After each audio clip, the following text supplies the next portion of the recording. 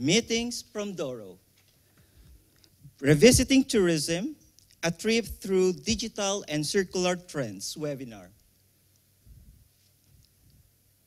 The host for today, Hugo Marques Sousa.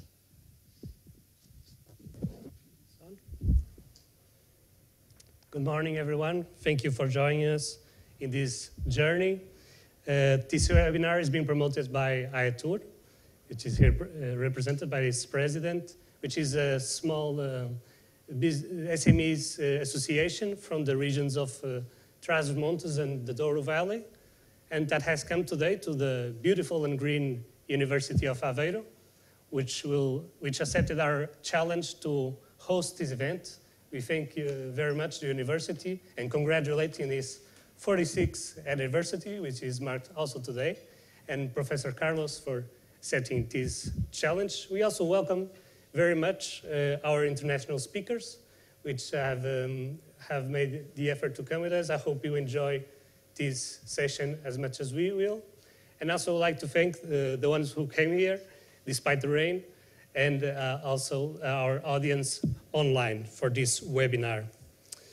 So, our, start, our session will start with a panel around digital trends till 11.10. Then we'll have a, a short uh, coffee break. And afterwards, we will restart our trip with uh, circular and sustainable trends, always regarding tourism. Uh, this event is part of a project uh, being promoted by AETUR called Meetings from Douro, which is co-financed by the program Portugal 2020, and that sets uh, this collaborative vision. That's why uh, AETUR came to, to Aveiro, like he has come to many other places. We'll also go to Brazil and Chile in this project. And the idea is to leave the vine, vineyards of the Douro region and to meet with other partners, other persons from other sectors, and understanding uh, how this can be an enhancement to their activity. But before we sail on this uh, journey, I would like to present you a short video regarding the project.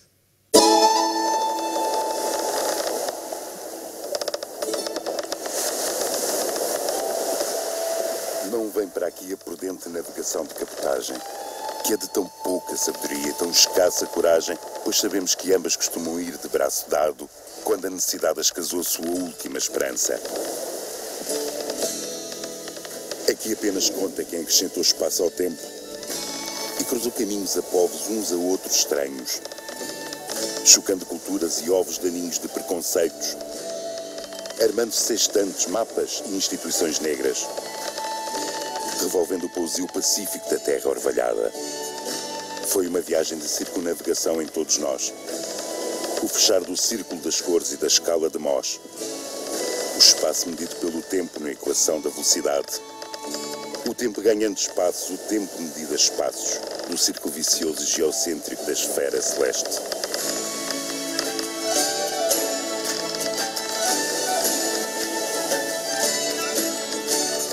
Projeto Meetings from Douro pretende levar o Douro ao mundo e trazer o mundo ao Douro.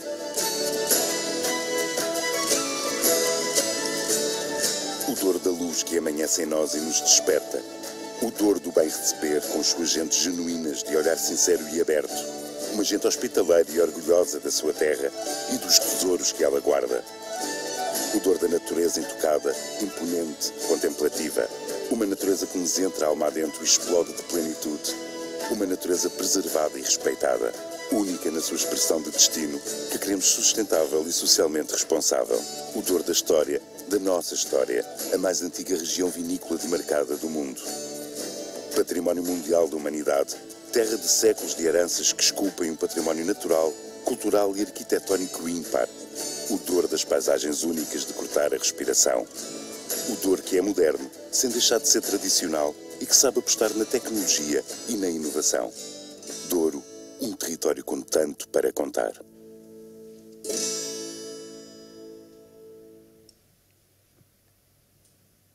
So, without further ado, I ask please uh, Professor Carlos to start the digital part of our event. Thank you. Okay, thank you very much. Good morning to you all. You are very welcome to the University of Aveiro and to this auditorium. This is the Department of Economics, Management, Industrial Engineering and Tourism. We have a great pleasure to host this session, the session called uh, Revisiting Tourism, a trip through digital and circular trends. Today, we are going to have two sessions. Let me talk about the, the first one. This is the panel I'll be the pleasure of being uh, uh, chairing. Professor Dimitris Buhalis is one of the leading academics in the world in this, in this area, and Dimitris is also a friend of the University of Aveiro, is also one of our members of our research center. Stanislav Ivanov is also a great friend. He's always available whenever we need, and he was also in the previous Invitur conference three years ago, and next year we are going to have the fifth edition of the Invitur conference. So, Stanislav, thank you very much for coming. Our colleague from the university, Professor Diogo Gomes, is from the Department of Electronics and uh, Information Technology, uh, and is also a colleague. And one of the things that we are doing in this department is to increase the links between the Department of Economics and the Department of Electronics and uh, Telecommunications. And let me also thank all the other guests that we are going to uh, see here today, Cinzia De Marzo, Rogelio is our, one of our PhD students and he was also uh, having a presentation, Hugo de Sousa, Stefan Lazic, and many other people that will be here. Let me also uh, thank uh, Engenheiro Luís Marques, he is the president or vice president of AETUR, the association that is organizing also this, this conference. Well, they are in, in fact organizing the conference, and we are here in the university, we are hosting the conference. And let me also thank you all for coming and our audience. We are live streaming this conference, which is also very good in order to take uh, what we are discussing here uh, uh, outside. Let me just say a few words before we start.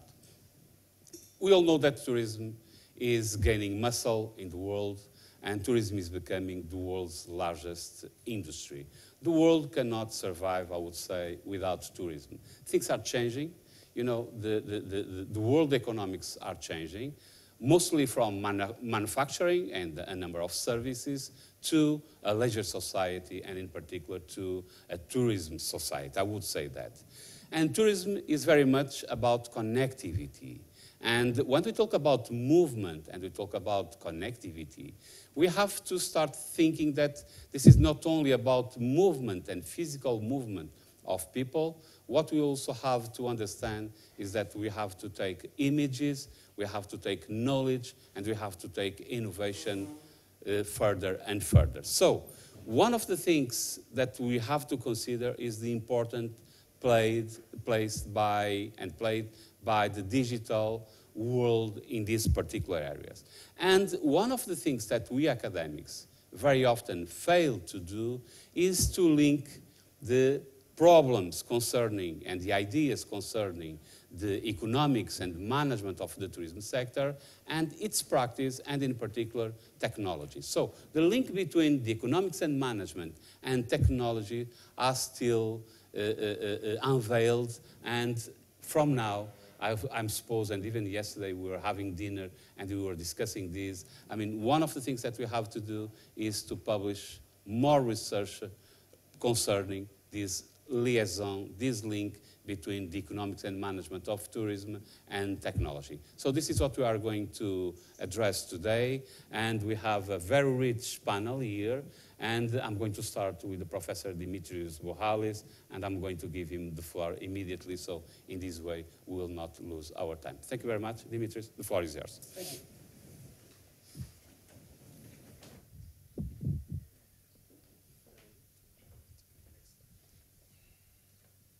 Bon dia, alegria. Always fantastic to be back in Portugal, and Aveiro is my home. Carlos, my irmão. Um, so it's fantastic to be back and to share some of the views of what's happening around the world in terms of smart tourism, real-time tourism, nowness, and ambient tourism.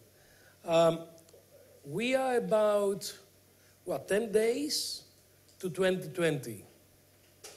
And we are 10 years to 2030. These 10 years will change the world of tourism dramatically. And anything that we're doing before is becoming rapidly irrelevant because tourism is changing using all the capabilities of technology that's emerging out there. There's a lot of research we've been doing in, in uh, Bournemouth University about smart tourism and developments and how all of those things will enable us to improve wellness, well-being, and provide benefits to all stakeholders of tourism around the world. And we'll have the opportunity to talk about some of those things. But the critical thing is, what I really want you to remember is that tourism in the next 10 years will be transformed so dramatically that most of the things that we knew in the past are becoming irrelevant. And we need to start looking into a whole range of new techniques, methods, and, and methodologies to actually take advantage of the technological developments to maximize the value for all the stakeholders in the marketplace. We are starting with data integration. It will be about getting everything together in one of these little machines, a smart machine, that will know everything about the context and everything about you. In the past, we used to look for information. Now information is looking for us. And information will be available to you before you request it. And it will be customized, individualized, personalized, and contextualized. So you'll have the information coming straight to you. I don't know if you're using one of those things, I don't. But hey, Google, can you bring me a pizza? Or the Alexa family. That is happening everywhere and it's coming somewhere near you.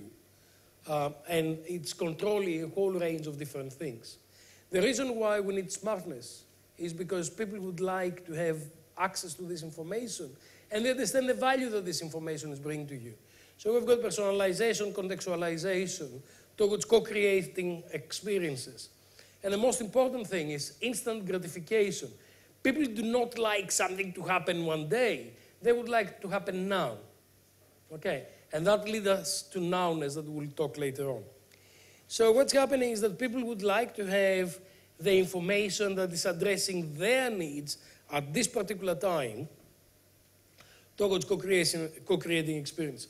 And personalization is happening pre-travel, before I travel, during, in terms of real-time engagement, and post-travel, sharing travel experience.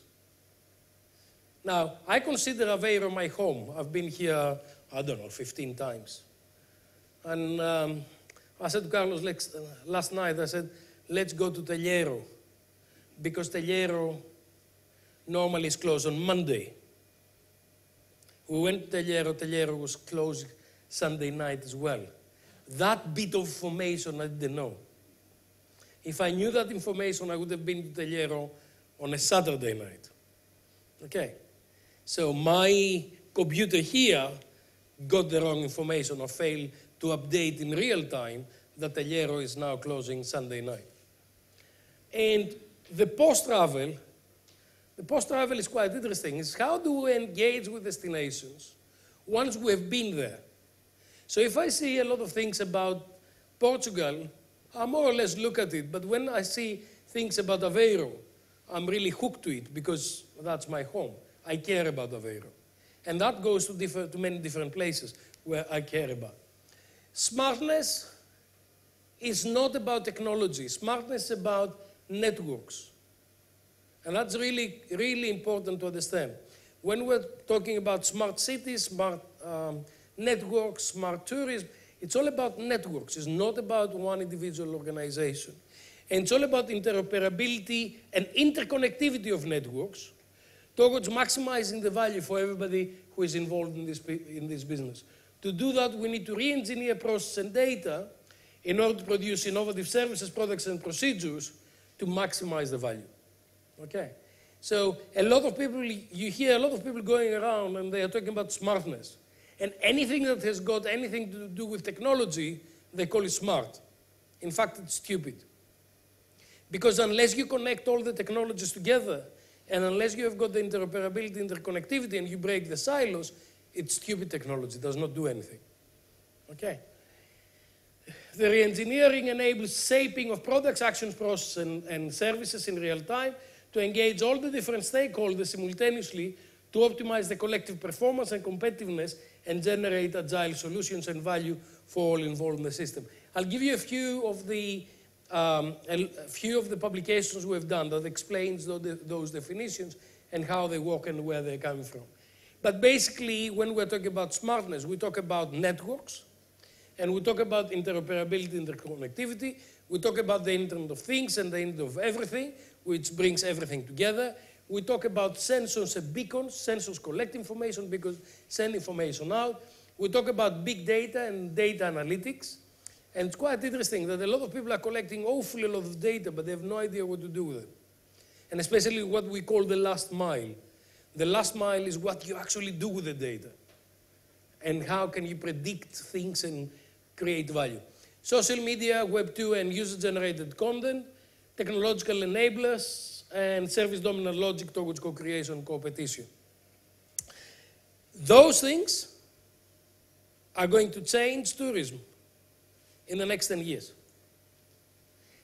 They're already here, but we don't use them properly. If I come to the Douro Valley and I go around, most of the information that you connect is based on silos. The train does not speak with the cruise, um, the cruise operators, does not talk with the wineries. It doesn't talk with the taxi drivers, the transportation. So you've got to do it all your own. And of course, a lot of people have got, they create value out of for themselves. So the taxi drivers, they would like you to miss the boat so you can use their services. Or the wineries, they don't want to work with the other wineries so they think that you can go to one place. The, competitive the, the competitiveness of the region will be really about bringing all of those things together, to operate together, to maximize my experience. If I would like to come to the Douro Valley, I would like to go to three wineries. And I like to engage in, with many different people and understand a whole range of different things. So it's all about interconnectivity, interoperability of all the different players in order to maximize the value at this particular moment for this particular customer. I emphasize that this particular moment because yesterday it was raining quite badly. So I wouldn't go to wineries outside, but I'll go to wineries inside. And I'll try a lot of wine. So the product changes according to the context and according to the nowness. Okay? Um, and, and that's something that we don't do. We create brochures, we still create paper brochures, we put them out there, and we expect that these brochures will do for everybody and all time. It doesn't. In December, Douro Valley looks very different than in May or in June. And the product is very different. But we don't understand that. We don't engage with that.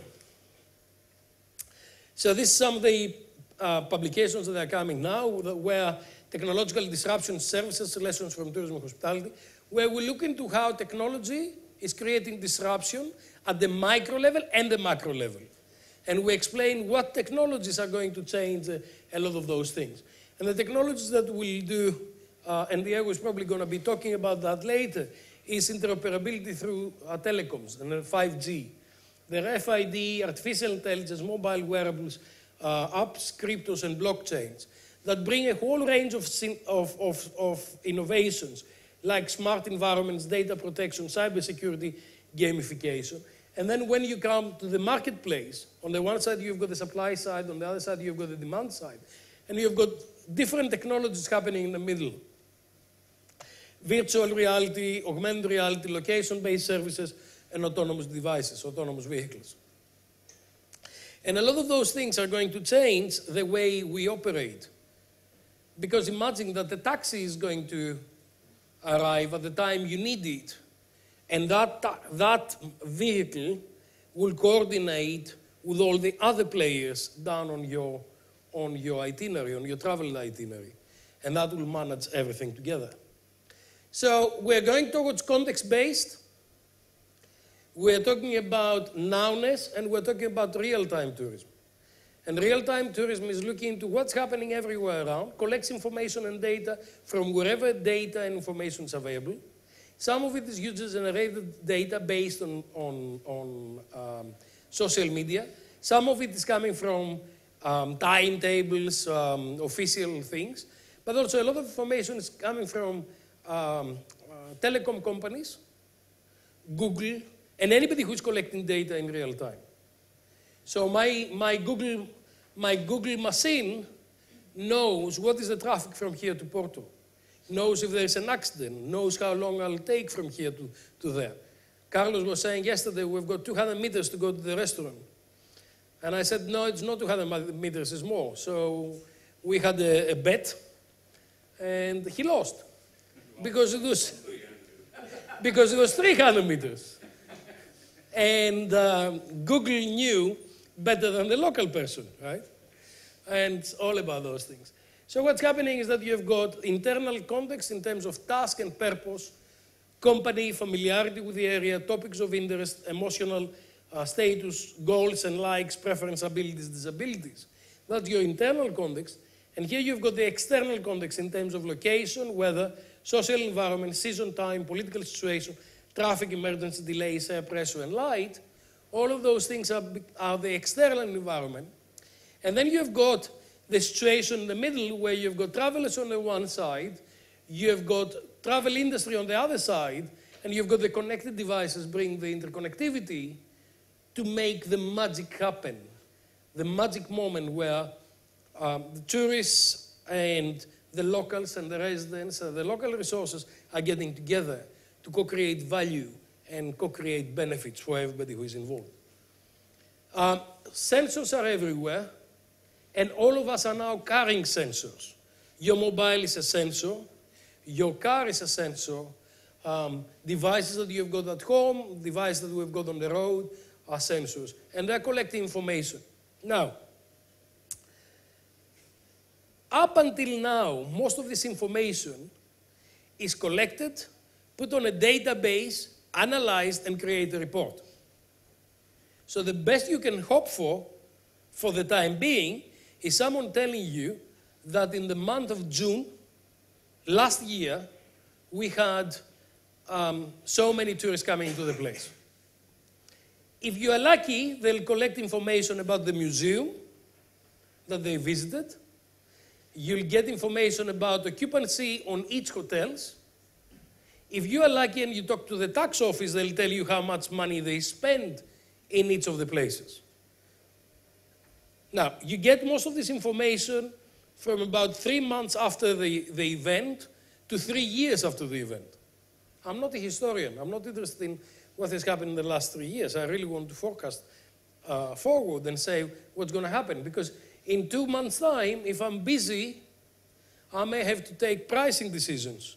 If I'm empty, I may have to take um, decisions about what I do.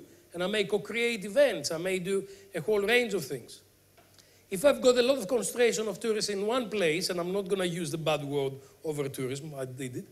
If you've got a lot of people that we know that they're going to arrive in one place, because we've got heat maps, we'll make sure that we'll create a balance in different places so we ensure sustainability of resources and taking people around. Uh, increasingly, we'll have wearables, so we'll take a whole range of different information from the bodies of people. So we'll understand in real time what's happening. Are people happy? Are people unhappy? Are people, uh, what is the situation in that particular place for this particular individual? And what can a service do to improve that? And then social media will collect a lot of information, will analyze the information to understand what is the public mood. What's the public mood in Aveiro today? What people are thinking about Aveiro today? What people are thinking about Hong Kong today? What people are thinking about Brexit today? Okay, you now start understanding the nowness, the real time, and what people are, are doing. And this uh, from Brian Solis, the conversation prism, which is collecting information from wherever the information is actually updated. And then this information is being listened. We listen to what's happening, engage, learn, and co create, and come to you as a brand or as an individual to understand what are the implications of what is happening and how can you take advantage of your environment to maximize the value for everybody who is involved. And then beacons are sending information to different players using mobiles and whatever else they're using. Now, the next few slides are coming from a good friend of mine called Alex Rayner. And um, Alex works with Position, Position, Position and several other organizations to collect data from wherever, analyze data and understand, understand what's happening, and through tourism statistics work with um, a range of different organizations and authorities to create benefits for destinations in different areas and maximize the, the benefit for that. So if you've got maps like that, you understand where people are, you understand what are the hot points, and you understand how to manage the hot points. you understand the, and, and, and the proxy of that is of course the mobile phone, because we can track mobile phones, we don't track people, but you can understand what time people go, where, and what's happening with the movements. So you'll understand what's the concentration level in different places. I like this. This is called the, uh, the ants graph. Uh, and I've got to play it, yeah. This is the traffic between Finland, Helsinki, and Tallinn, Estonia. And you can see in 24 hours what's happening. But because you understand, you understand which are the routes that they are heavy, you understand when they are used, and you understand what to do with that. That is the benefit of the big data. That's the benefit of, of smartness. To understand where people are going, why they're going, and what, what um, methodology, you, you know, what method do they use to transport. And actually optimize systems together by bringing all of those things together. There are companies like um, like Position that they're doing these things.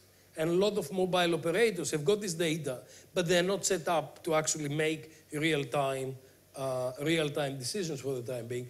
They are still doing uh, reports. But this is something we're going to get to. And if I've got this data, and if I can cross-tabulate with individual, with individual um, internal context, and also I can cross-tabulate with external context, so I say, if it rains, that's the pattern of behavior. If it doesn't rain, that's the pattern of behavior. You can create value by doing a whole range of different things. And for your Douro Valley, this is invaluable because you've got, you've got a terrain that's quite complicated and you've got different users. So someone who's going to Porto on a conference will have a very different behavior than someone who's going to Porto on a wine exploration. And someone who is going to Porto for the first time, they'll have very different patterns of behavior than someone who's gone there for the fourth time. And all of those things are coming into contextualization of tourism and understanding how tourism management and marketing needs to operate. And that's what's going to bring us competitive advantage.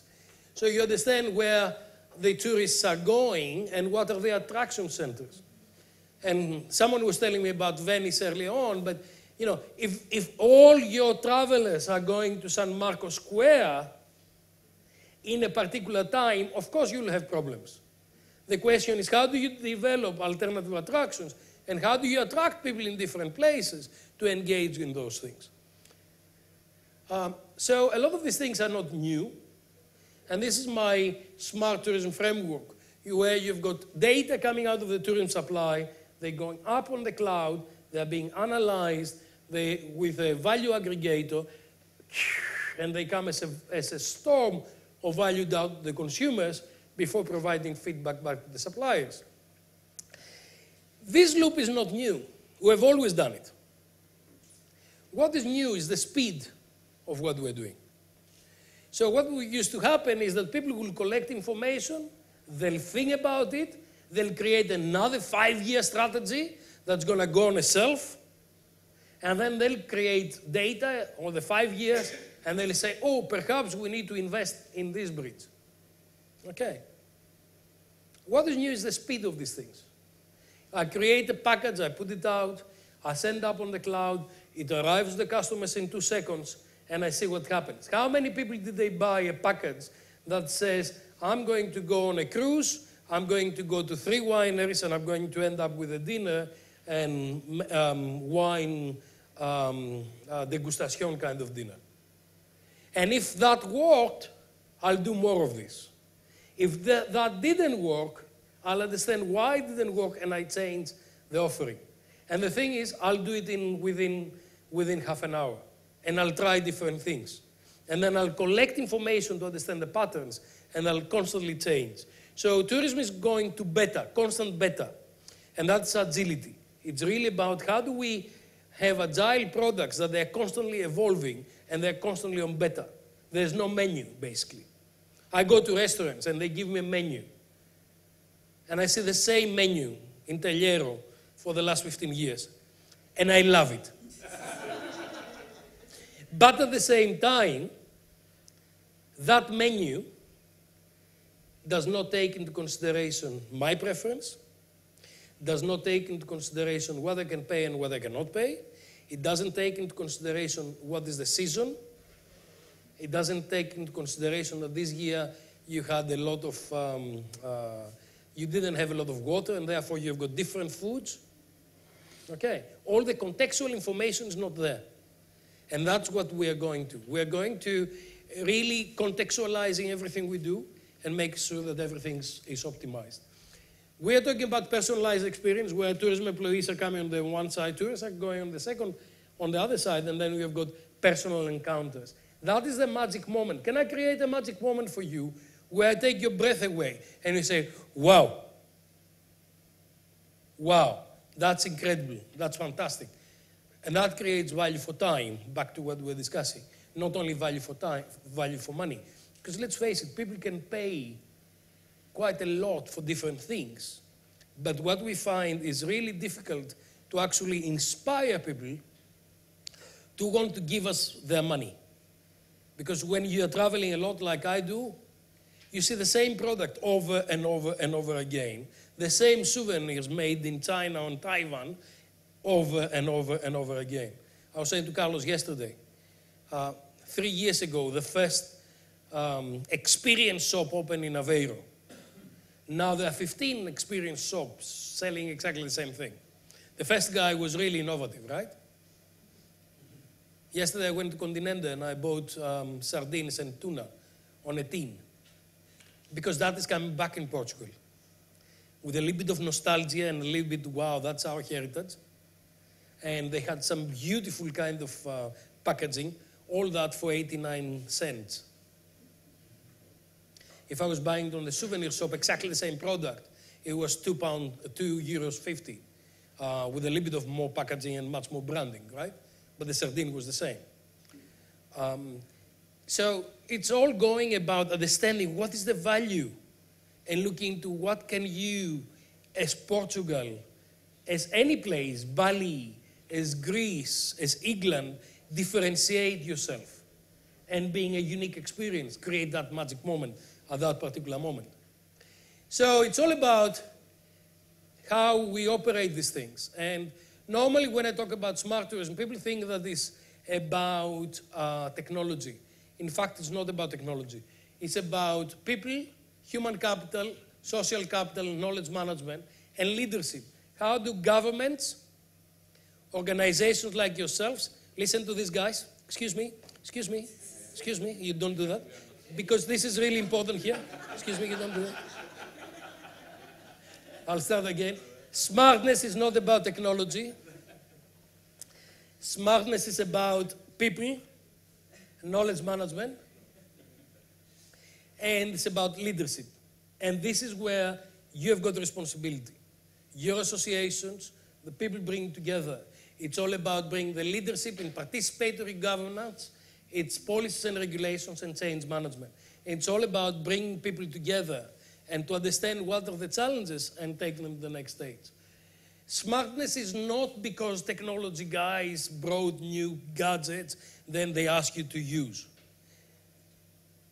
Smartness is about bringing smartness economic actors, social actors, and technological actors together in a social and value co creation ecosystem that brings together the innovations to make things happen. It's not about technology, it's about leadership.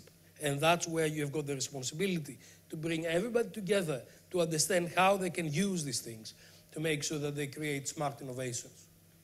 This is um, from uh, Korea. I was in Seoul recently, and this is something that's called TOPIS, which is the control center of, of, of Seoul in Korea.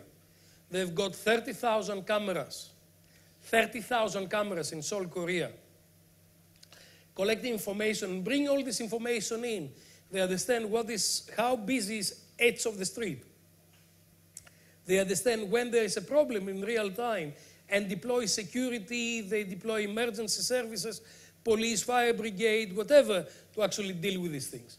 And they've got these indicators here. This is about tsunamis and earthquakes. They understand what is the level of the impact that's going to happen and how fast they need to react. And the, the, the more, you know, if it's really, really bad, it goes to red. If it's so, it goes to amber, green, and blue. But it's all about getting all of these things in real time, get the feed, and actually manage those things. And this is my favorite one. It's a, it's a bus lane. So they're looking at the buses and they see how busy each of the buses are. And if it's green, it's fine. If it's yellow, it's a little, getting a little bit busy and difficult. And if it's red, there's a problem. It may be delayed. It may be too many people uh, on the bus. And then they've got to do something. And my students normally ask me, how do they know how many people are on the bus? They have a sensor every time you come in, and they've got the sensor every time you go out. And they've got something under where you sit to recognize that there's someone on top of that seat. So they manage the situation in real time. And I go around to destination management organizations, um, Tourism Portugal, um, Douro Valley, and I say, how do you manage the destination? In fact, we don't. We have no idea what's happening in our destinations. And we don't manage.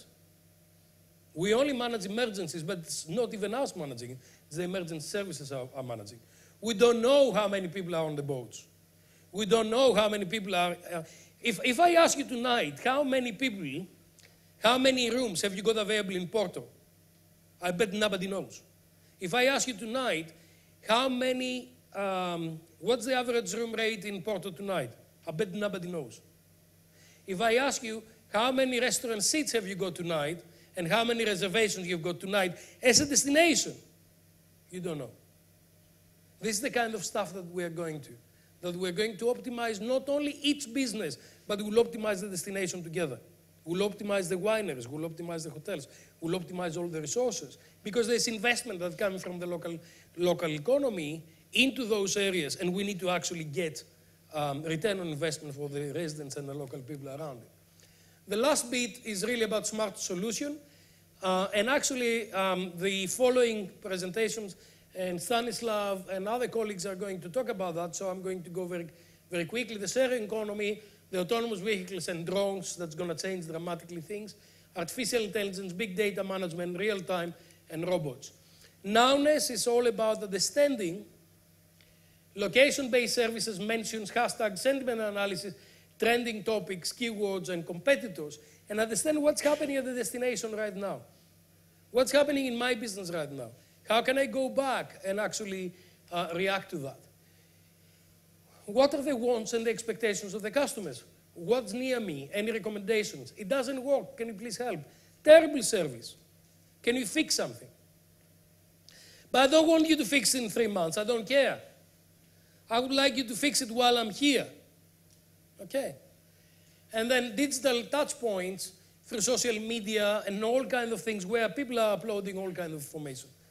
Do you have time to play this? Yeah? This is what, um, I don't have sound coming out. Uh, this is about uh, Marriott Hotels.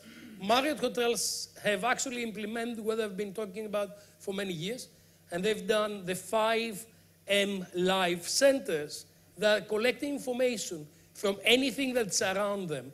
The okay, the next time you're at a restaurant, like a cheesecake factory, or maybe, I don't know, we're going to find out at a ball game or on vacation, everything you post on social media sites may be monitored. Yeah, go back. What have you done? I've done, okay. Okay, the next time you're at a restaurant, like a cheesecake factory, or maybe, I don't know, we're going to find out. At a ball game or on vacation, everything you post on social media sites may be monitored by the company which owns the venue. You may be being watched by a number of Fortune 500 companies the growing use of a technology called geofencing, making it easier for companies to listen in on customers' public conversations. The goal is to better engage with them and increase their brand presence awareness and then hopefully sales.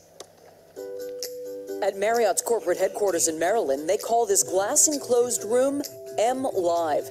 It's a modern day command center for the hotel chain where employees constantly monitor social media platforms such as Instagram, Twitter, Facebook, and YouTube. Every day, more than 300,000 guests post on social media from a Marriott property. Executives know this because of a technology called geofencing. Each yellow dot's a hotel or a location. Marriott has geofenced more than 4,000 properties worldwide. Okay, that means basically in the area around a hotel, with the conversations that are on social media, we can tell who's geographically around that hotel. And they watch as guests post about everything, from breakfast in bed in Amsterdam to pool selfies in the Caribbean. Sometimes Marriott reposts them using their account, and sometimes they reach out to the customers directly. So when a guest posts about a special occasion, for example, like a birthday or an engagement, the team here can notify the manager of the hotel, and that guest can get a special something, like a bottle of champagne or perhaps a free appetizer at dinner, maybe a room upgrade. It's designed to make the customer feel special, not spied on. The idea that you can see what people are posting within a geographic area, do you worry that that creeps out your customers? We think that the people who are actually on social media are delighted at the, the, the ability to have us amplify their conversation. The CEO. So I'm playing this video because quite often people are looking at me and say, yeah, yeah, you're saying great, Buhalis, but actually, our tourism doesn't work like that. And what you say is academic. It isn't. It's basically a new way of thinking. It's management of destinations and resources by having realistic information in real time. It's co-creation of value in real time. And it's nowness. It's understanding who is consuming value, why, when, where, now, and maximizing the value for them. And the companies who are already doing that, like Marriott, they take advantage of the things that we've been talking for a lot of time. Um, in this paper, we talk about the sources of competitive advantage. On the one side, it's always been price. If it's cheap, people will buy it. Or if it's different. So it's a good brand, it meets my requirements, I'll buy it. The third thing that is bring, we are bringing out as a source of competitive advantage is time and nowness and instant gratification. You'll find when you get out of, of this room, you're going to go for a coffee. You're not going to go and find the best coffee in the world or the cheapest coffee in the world but you'll go next door and you'll buy the coffee that will instantly gratify your needs. Okay? If you walk for an, a mile, you'll find the cheaper coffee. And if you walk for three miles, you buy it, you'll find the better coffee. But actually, you'll buy the, the, the product that instantly gratifies your needs. And time is becoming the next thing of competitive advantage that's, that needs um, real-time data mining and come back as a value in real time. I'll leave robots to Stanislav uh, to talk about them, and this is Henn-na Hotel in Japan. Um, but I'll talk about um, the transformation of labor. This is housekeeping and this is cleaning. And normally people are asking me by that time, is the robot going to take my job? And I say, yes. If you're a cleaner, it will take your job. And then I'm asking anybody, are you really, do you really want to be a cleaner? Do you want your kids to be a cleaner? And a lot of those, or do you want to deliver a sandwich at 3 o'clock in the morning on room service? Or would you like a robot to, to go and do it? And quite often people think, oh, robots are never going to happen, you know. And it happens. Uh, this is my friend, Philip, in the New Century Grand Hotel in Hangzhou in China last month where he was following me around. He could speak English. The receptionist couldn't, but they're happening. So ambient intelligence tourism is the last bit I'm going to talk about, and this is going to change the world. Ambient intelligence means that smart systems will be introduced to everyday environments propelling interconnectivity and interoperability of all systems, vehicles, and devices through the Internet of Everything. We'll have technical developments like artificial intelligence and machine learning, uh, that bring ambient connectivity through wider area uh, networks, Wi-Fi and 5G, autonomous vehicles and robotics, and will bring interconnected devices and uh, environments that they maximize the value generated. So when your car is talking to your bathroom and say, Hi, the guy has just got into the car, will be at home in 20 minutes and he would like to have a bath, start heating up the bathroom for us. This is when we're talking about these things. And by the way, the refrigerator is sending a message to Continente and says, uh, we've run out of milk. So Continente is sending a message to the car and say, can you please stop on your way? And I've got a, uh, milk waiting because your refrigerator uh, said that I need to bring milk. I've already um, charged your, um, your financial systems. I say credit card, but in China you have no credit card anymore. You've got Alipay and you've got WeChat Pay and all of, all of these things. Um, this is what we're talking about. Ambient intelligence are bringing mobile systems that are portable, wireless, network, location sensitive, and secure. They're pervasive in terms of ubiquitous, interactive, interoperable, distributed, scalable, and the ambient in terms of embedded, context-aware, personalized, adaptive, and anticipatory. They anticipate your needs before you realize your needs. They anticipate that your milk would have finished before the milk will finish. And they'll predict when the, the, the milk will finish. And they'll predict when the, the milk is going to get out of date. Okay? And if you've got a particular um, thing like a gluten allergy or whatever, because the system knows about it, it's going to go to all the, all the restaurants out there and say, which restaurant can actually do me a gluten-free meal?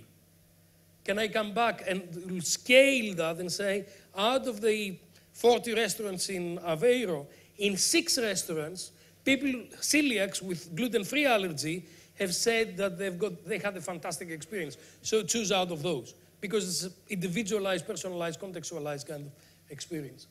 Um, machines will be talking to each other, and Stanislav is going to talk about the machines who talk about each other. And we'll have a situation like that when drones, autonomous vehicles, computers, everything will be talking to everybody. And hopefully they'll be talking to us, but that's another, another lecture. And you'll have ambient intelligence where the visitors are right in the middle. They've got a, a range of different players and tourism and hospitality uh, stakeholders around them.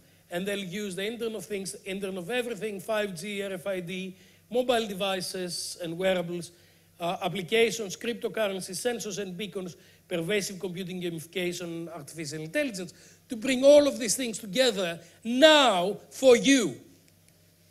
And this is about how we're, we're going. Smartness is not about technology, it's about agility and value co-creation.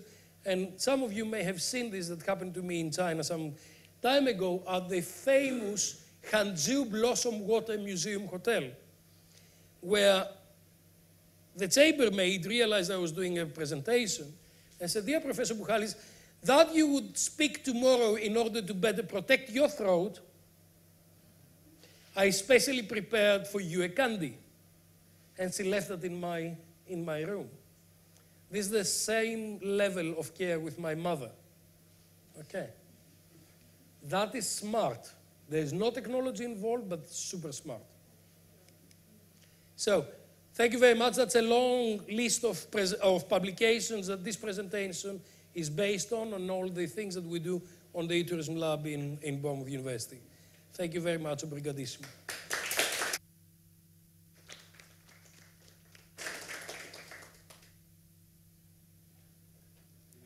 Thank you very much for coming. And in the meantime, we are going to listen to Professor Stanislav. Yes,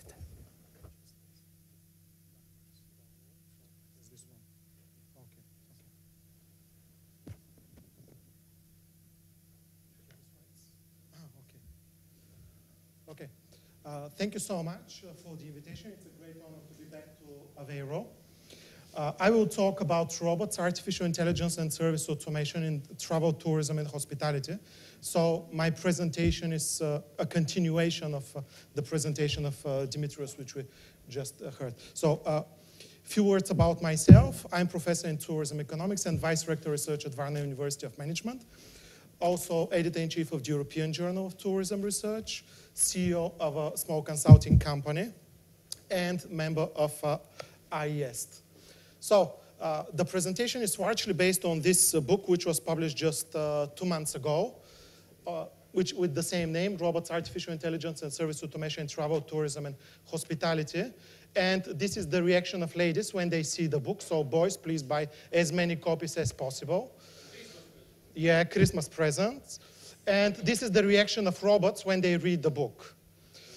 So um, a few slides, uh, a few promotional slides. I'm uh, also editing a special issue of Tourism Economics on the economics of revenue management and uh, uh, special issue in uh, tourism management perspectives together with uh, uh, Ulrike Gretzel and Ian Yeoman on tourism beyond humans, robots, pets, and teddy bears. So if you're interested, please do submit your best papers there. And I'm also involved in a project uh, that works to the skills that employees in tourism and hospitality would need in 10 years from now. Now, robots have arrived. So when people hear robots, they usually have this impression. They think about these robots. Okay, they are great, they are fantastic, but uh, for Hollywood, we are not talking about such robots. Other people have this impression. Uh, they see that, uh, uh, they think that robots will come and they will destroy our, our world. This is also a wonderful scenario for Hollywood, and it generates a lot of billions of dollars, but this is not going to happen at least for the near future.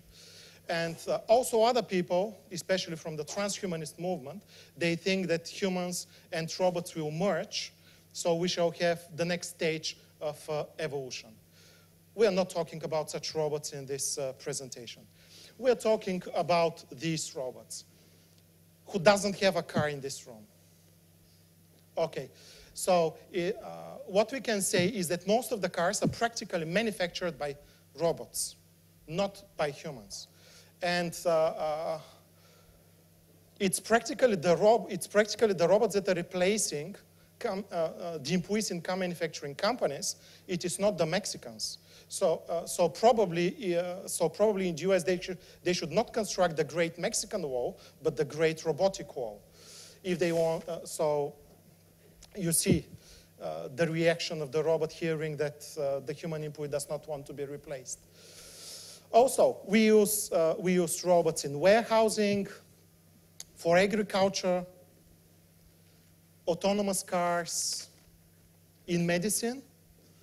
These, uh, uh, these uh, medical robots, they can perform the operation in much better, much, much better way than human surgeons, but of course they assist the uh, human surgeons. This is the dream of every single general in the world, to be able to bomb the enemies without sending troops there, military drones. Also, this is my dream, doing the vacuum cleaning at home. Uh, and of course, we, can, we have robots in uh, swimming pools, for cutting the grass in gardens, uh, for guards. Of course, this robot will not arrest you, but as a vigilant citizen, this robot will report you to the person who can arrest you. And parcel delivery, the competition currently is for the last mile delivery from the warehouse to the home of, uh, uh, of the customer. We can use robots in uh, education, in entertainment, uh, for provision of information services, and uh, for legal services, for example, countries with, uh, Angus, uh, with a precedent type of legislation like in uh, the US and the UK, um, lawyers need to sift through many cases in order to justify uh, in order to, to, justify a case in, in court. So that this is where artificial intelligence can help. Also, in search engines, when we start writing something, miraculously, uh, the word, uh, we receive results which are quite relevant for us. Or when we buy something from, uh, on, uh, from uh, online stores, we start receiving recommendations for, complement, for uh, complementary products or products from the same group. Or social media chatbots. If you, if you send a message to the chatbot of the European Journal of Tourism Research on Facebook, it is not me that will provide you the answer. It's the chatbot. It's always great fun to read in the evenings the communication between the chatbot and, uh, uh, and, uh, um, and the humans. At least I suppose that it is human chatbot communication. Probably at one point it will be chatbot chatbot communication. Uh, So please go like the page, send messages. I have to train the, uh, the algorithm there. Uh, also, in finance, we have high frequency trade. We have automated trading algorithms that open and close positions on the financial markets. And this happens within milliseconds. A human brain cannot process information with such a speed in order to react to small fluctuations in prices. Uh, also, we have voice-activated devices. Uh, journalists will also be replaced uh, uh by computer uh, programs. And, but also robots can be smart-looking and attentive students. A photo from Enter conference this year in Nicosia. But also they can, they can be cucumbers cutting robots. This is a special site for Ulrike Gretzel. And uh, also we can have robots for, uh, for reading uh, the Bible and other uh, religious books. And of course, we can have sex robots. Male, male sex robots always scan, female sex robots never complain and never have headaches. So this is also entering the market.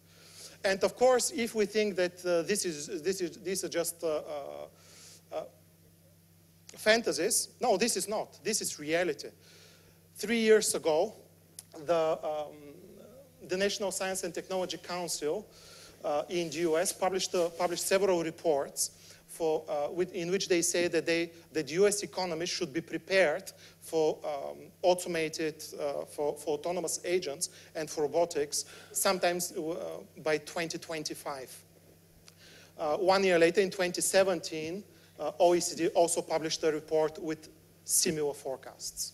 So, what about tourism and hospitality? We have uh, mobile applications, we have uh, robots, uh, we can have digital rece receptionists, uh, and uh, of course, room service delivery robots, as we already saw and the Henn-na Hotel, and this year, in the middle of January, Henn-na Hotel turned off half of their robots.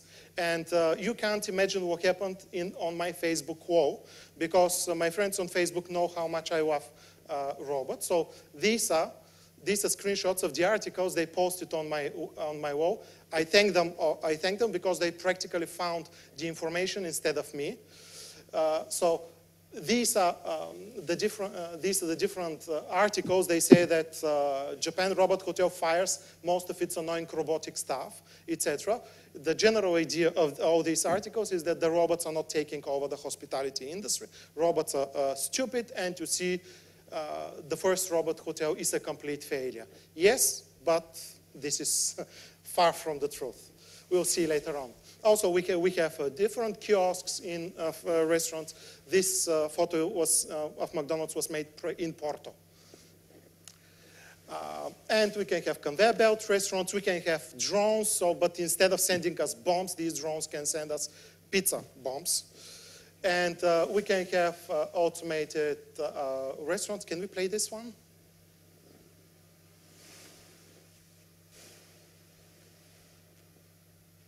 Oh, Whoops.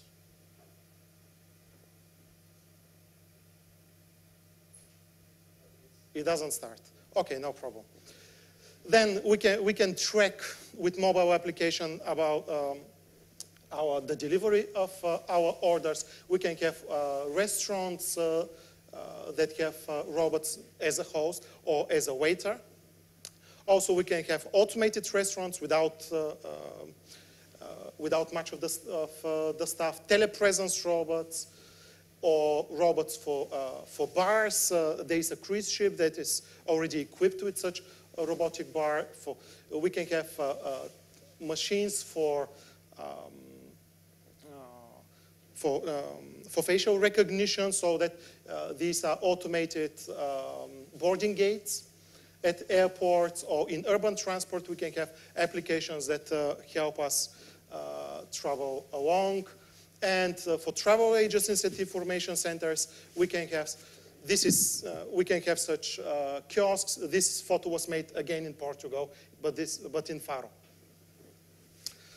And in museums, we can have uh, robots uh, uh, that deliver information, or we can have virtual uh, reality application. Digital assistants we already uh, uh, mentioned, but also chatbots. You can make bookings, or you can receive information about uh, a destination through uh, chatbots.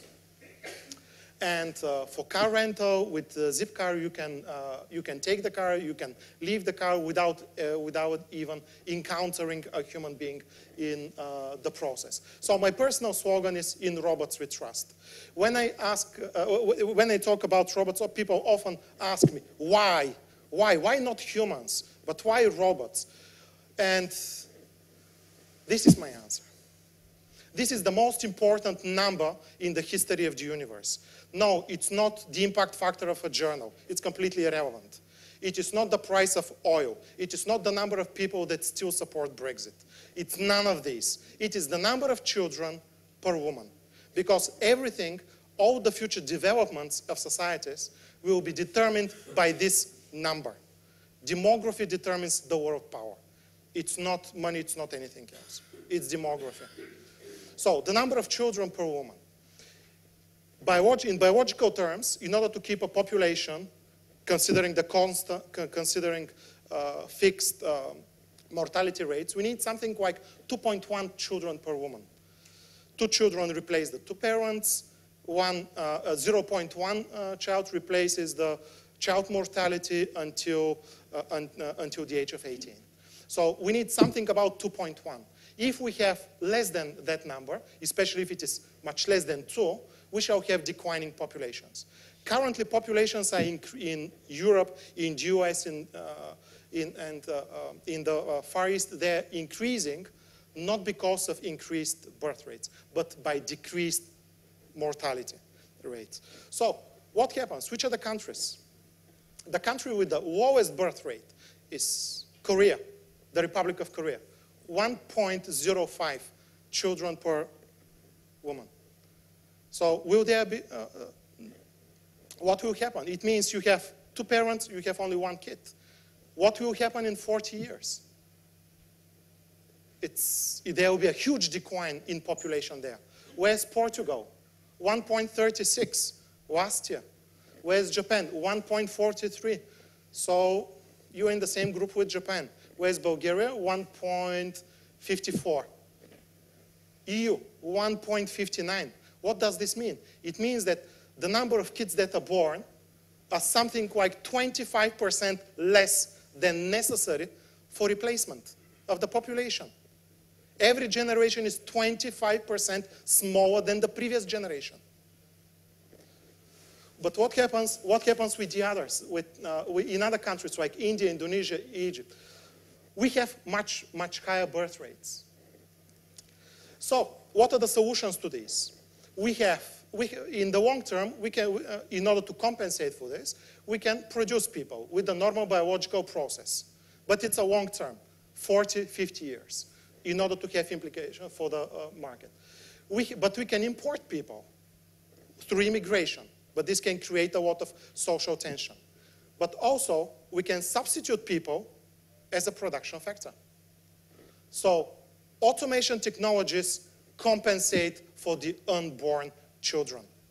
Companies are forced to use automation, not because they want it, but because there are not sufficient workers on the labor market.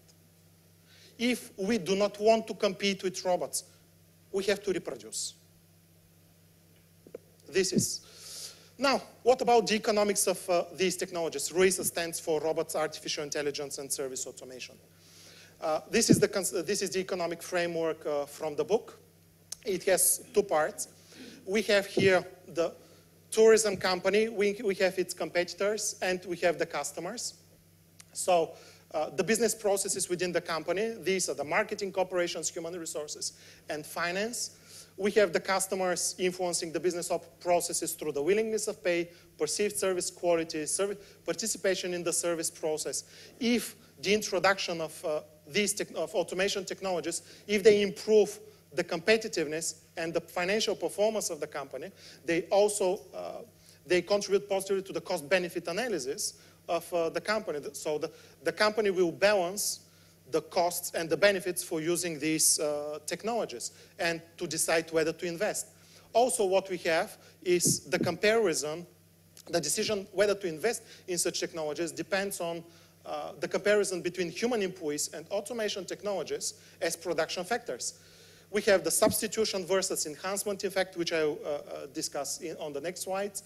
And the demand for, and when the company decides to use automation technologies, this influences the demand for these technologies, the supply, but also it influences the demand and supply for human uh, employees. Uh, now, why should RAISA technologies be uh, used and be adopted? First, because they work 24-7. You can have a 24-7 reception, you know, to have a 24-7 uh, uh, full uh, reception in a hotel, you need at least five employees. But you can have one kiosk. Also, they could implement various tasks and, inspect, uh, expand the scope of, so, uh, of uh, these tasks by software and hardware upgrades, constant and improving quality of the work, or uh, they can work correctly and in a timely manner. They don't procrastinate. And also they can do routine work repeatedly. They don't need to be motivated on this. Also, they don't robots do not complain, do not shirk from work, don't uh, quit their job without notice, don't show negative emotions, etc. But also, they don't go on strike. And this is what Chef Palpatine says in Star Wars. Every strike of human employees is a pathway towards their substitution by automation technologies. Of course, he doesn't say this, but I'm reading his thoughts, so the force is strong with him, so we know what, uh, uh, uh, we're sure that he, he has this in his mind. Also, we have, we have labor cost savings, increased sales, easier scheduling of operations, improved environmental sustainability. All these things, they contribute positively. Also, they, uh, also these technologies, they increase the role of the customer. So customers are, uh, transformed into prosumers because the initiative for a service would, would, will be transferred to uh, the customers. And it, we can talk also about co-creation of value, of, uh, value yes. Uh, also, these technologies, they save employees time. So instead of a person uh, carrying the tray from the restaurant to the room of the, of, um, of the guest, a robot can do this. Enhancing rather than replacing employees, but also solve problems with hiring and firing employees. European legislation is very rigid towards firing. So some companies may not hire someone just because it will be very difficult to fire that person later on. How do, how do we hire and fire a robot? Turn on, turn off. Simple. We need a robot, we turn it on. We don't need the robot, we turn it off but also they can create, uh, they can enhance the perceived service quality by making the process uh, entertaining. And uh, can, they can be used for auto, automation technologies, they can be used for automated pricing, personalized pricing, marketing, for marketing communications, for predictive analytics, for better forecasts. And companies that use such technologies, they can be perceived as um, innovative high-tech companies with positive word of mouth. And of course, why not? We have the, we have the bright side, but we also have the dark. Why? First, we have huge financial costs, upfront costs for acquisition, installation, maintenance, software upgrades, for creating robot-friendly environment within the hotel to facilitate the, movements of, the movement of uh, the robot. But we also have potential vendor lock-in effect. It means that once we once we uh, use particular technology from a particular supplier, probably it will be very difficult to switch to another supplier, so we need to use that uh, product. But leasing could be one of the ways to offset these high costs. Of course, robots lack creativity. They also decrease the flexibility of the service delivery system. At least for the moment, humans are much more flexible than technology. Also, they like personal approach, operate in structural situations, and also companies may suffer negative publicity because, uh, because the company may be perceived as, as a firm that puts profits before humans. And of course, technologies can wipe out whole sectors of the economy. Uh, and uh, they can be perceived as threat for uh, human employees and, they, and customers and employees, society as a whole may resist using these technologies. Of course, they, they will lead to the disappearance of industries. So this is one ad from the beginning of the 20th century uh, of um, comparing horses versus automobiles and why you should use horses, not buy automobiles. Now we saw that horses went into the history of transportation. And of course, robots don't go to spa centers. This is a special slide for Metin Kozak. Greetings, Metin. So also, what we can see in the future is that uh, we shall have division of tourist companies into two large groups. High-tech companies, high-tech tourism hospitality companies, which will offer um, cheap, they, they offer uh, standardized but also lower priced pro, uh, hospitality products, but also we shall have uh, high touch with uh, services which are delivered by humans and also at higher prices. And of course, between these two extremes, there will be different shades of uh, gray. So are humans and robots substitutes or complements? So Tom was the first guy to lose his job due to artificial intelligence. But Tom was a cat. What can we say about the humans in that case? So uh, these technologies, they have both substitution and enhancement effect simultaneously. And the, and the effect depends on, two, on three things. Automation of tasks versus jobs, relative productivity of these technologies and the human employees, and the service capacity of a company. Now, when uh, uh, what, uh, um, in one highly cited article, uh, Frey and Osborne, it was cited last week 4,754 times. I think it's now more than 400, 4,800 times. They reported that 47% of the jobs in the US are subject to automation. Of course, we can challenge that article a lot on the basis of methodology, but uh, what we can say is that, this, uh, that this number is really, would be really very high. So when we talk about automation, we talk about automation of tasks, not jobs. And in order to decide whether a job will be eliminated or not, it all depends on which tasks that particular job consists of. So if some tasks are automated and the set of tasks uh, that human employees need to perform decreases, we're talking about de-skilling of jobs. It means that we can have employees with lower level of education that can uh, perform uh, these tasks. In the long run, these jobs, the, the whole job will be eliminated. However, if these tasks are automated, but, they are, but this automation allows the human employees to perform better on their job and to increase the productivity, we talk about the enhancement effect. So people will keep uh, their job.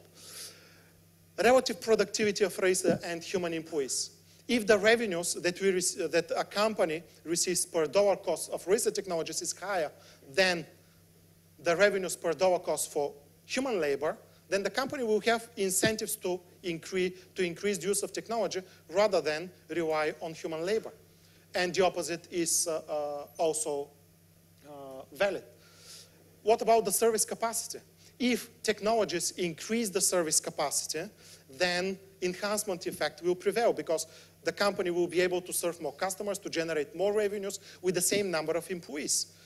However, if we have fixed capacity, limited growth opportunities, then companies will focus on, um, on improving the operational efficiency and cutting costs. So in that case, case substitution effect will prevail and uh, human employees may fear about uh, uh, their jobs. So RAISA technologies, they eliminate the tasks for some jobs they will, uh, they will help re reallocate tasks to other jobs, but also they will create tasks for, uh, for existing or new job positions. So for some job positions in tourism, we can say that um, the substitution effect will prevail.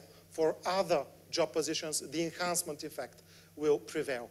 And of course, as Dimitrios said, technology is a tool. It is not the goal and uh, we have to use technology wisely, effectively and efficiently. Because we may have wonderful robots, but if they, and, but uh, if used in hospitality, at one point they may be transformed for something else which is completely not suitable for the hospitality.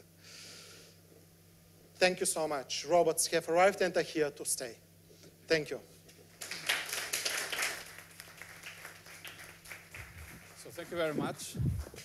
I'm going to invite Diogo and Dimitris to come back to the stage. Thank you very much.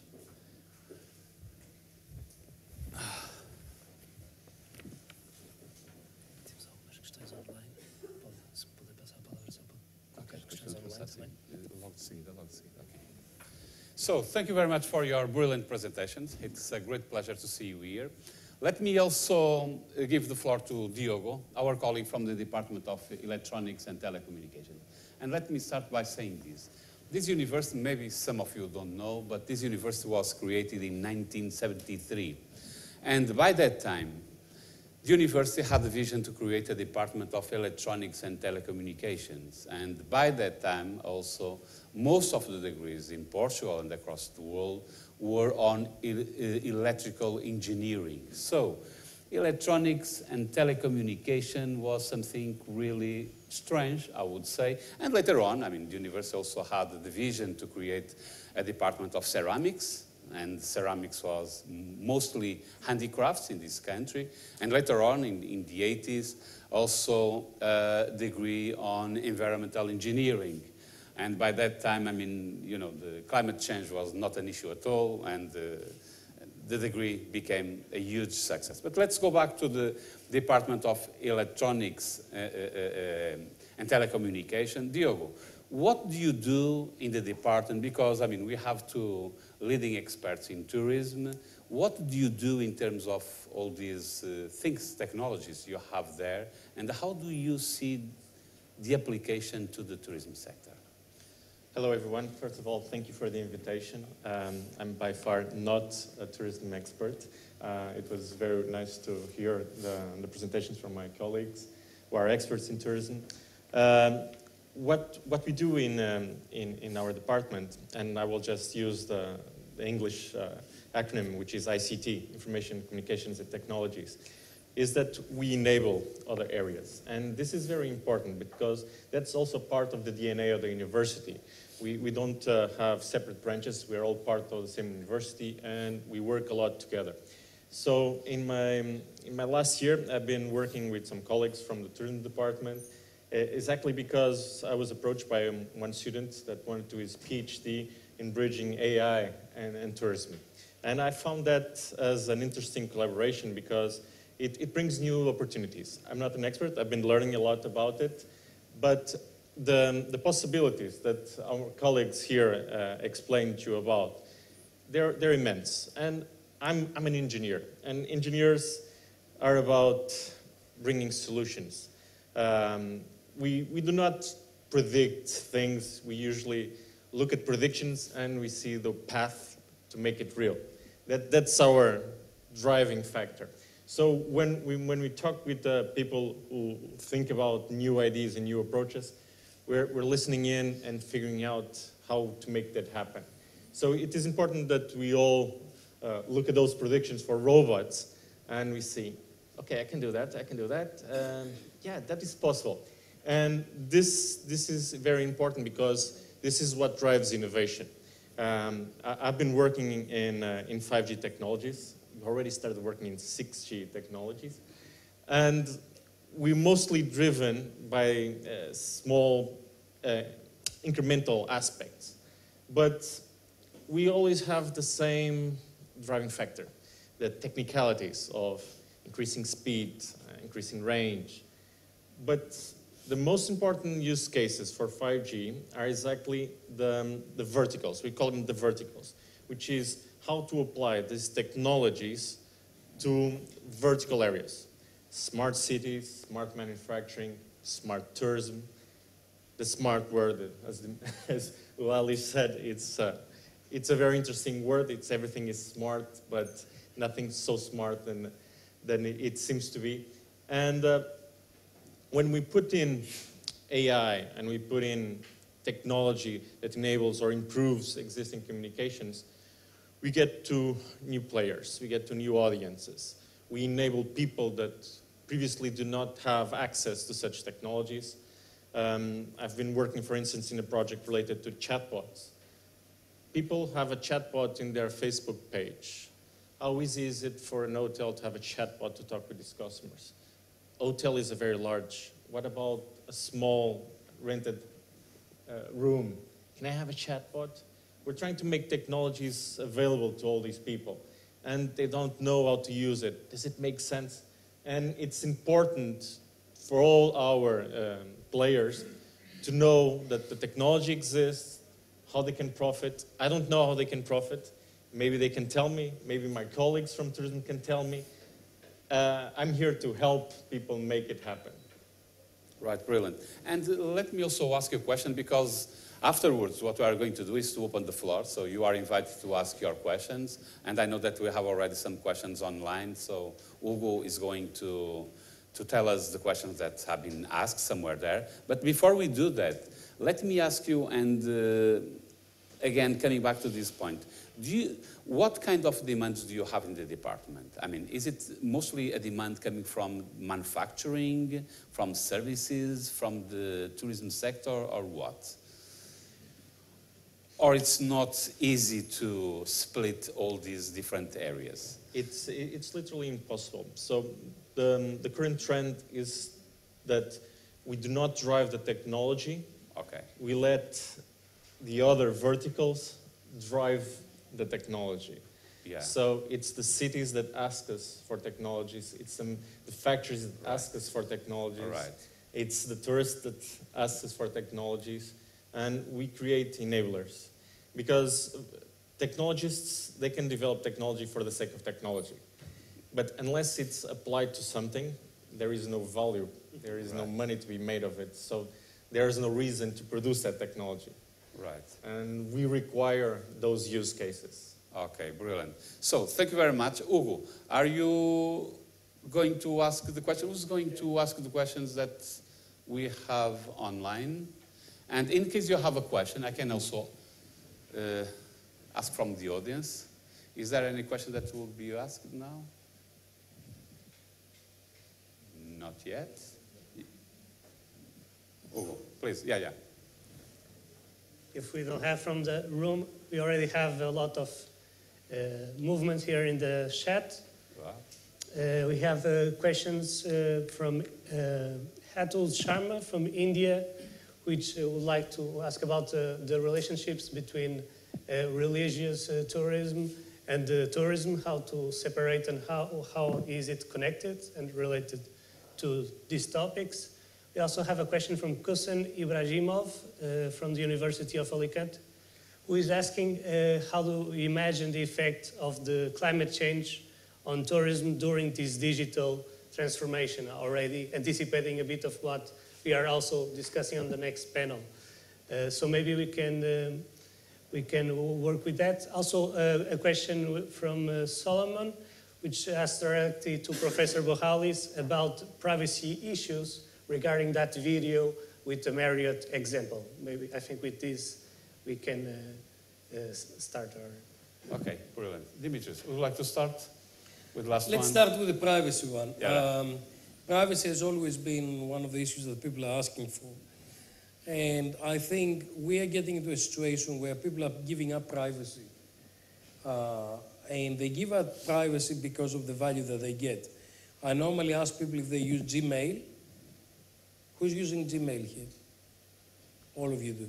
So you've given up privacy already. And yes, you have. Whether you, whether you like it or not, the minute you've clicked I like that, you've given up privacy because Gmail is reading and Google is reading what you're, you're receiving. Nobody forced you, nobody put a knife or, or a gun to your, to your head and say you need to use this, but actually you did. Uh, I know that all of us will give anything to get Wi-Fi access.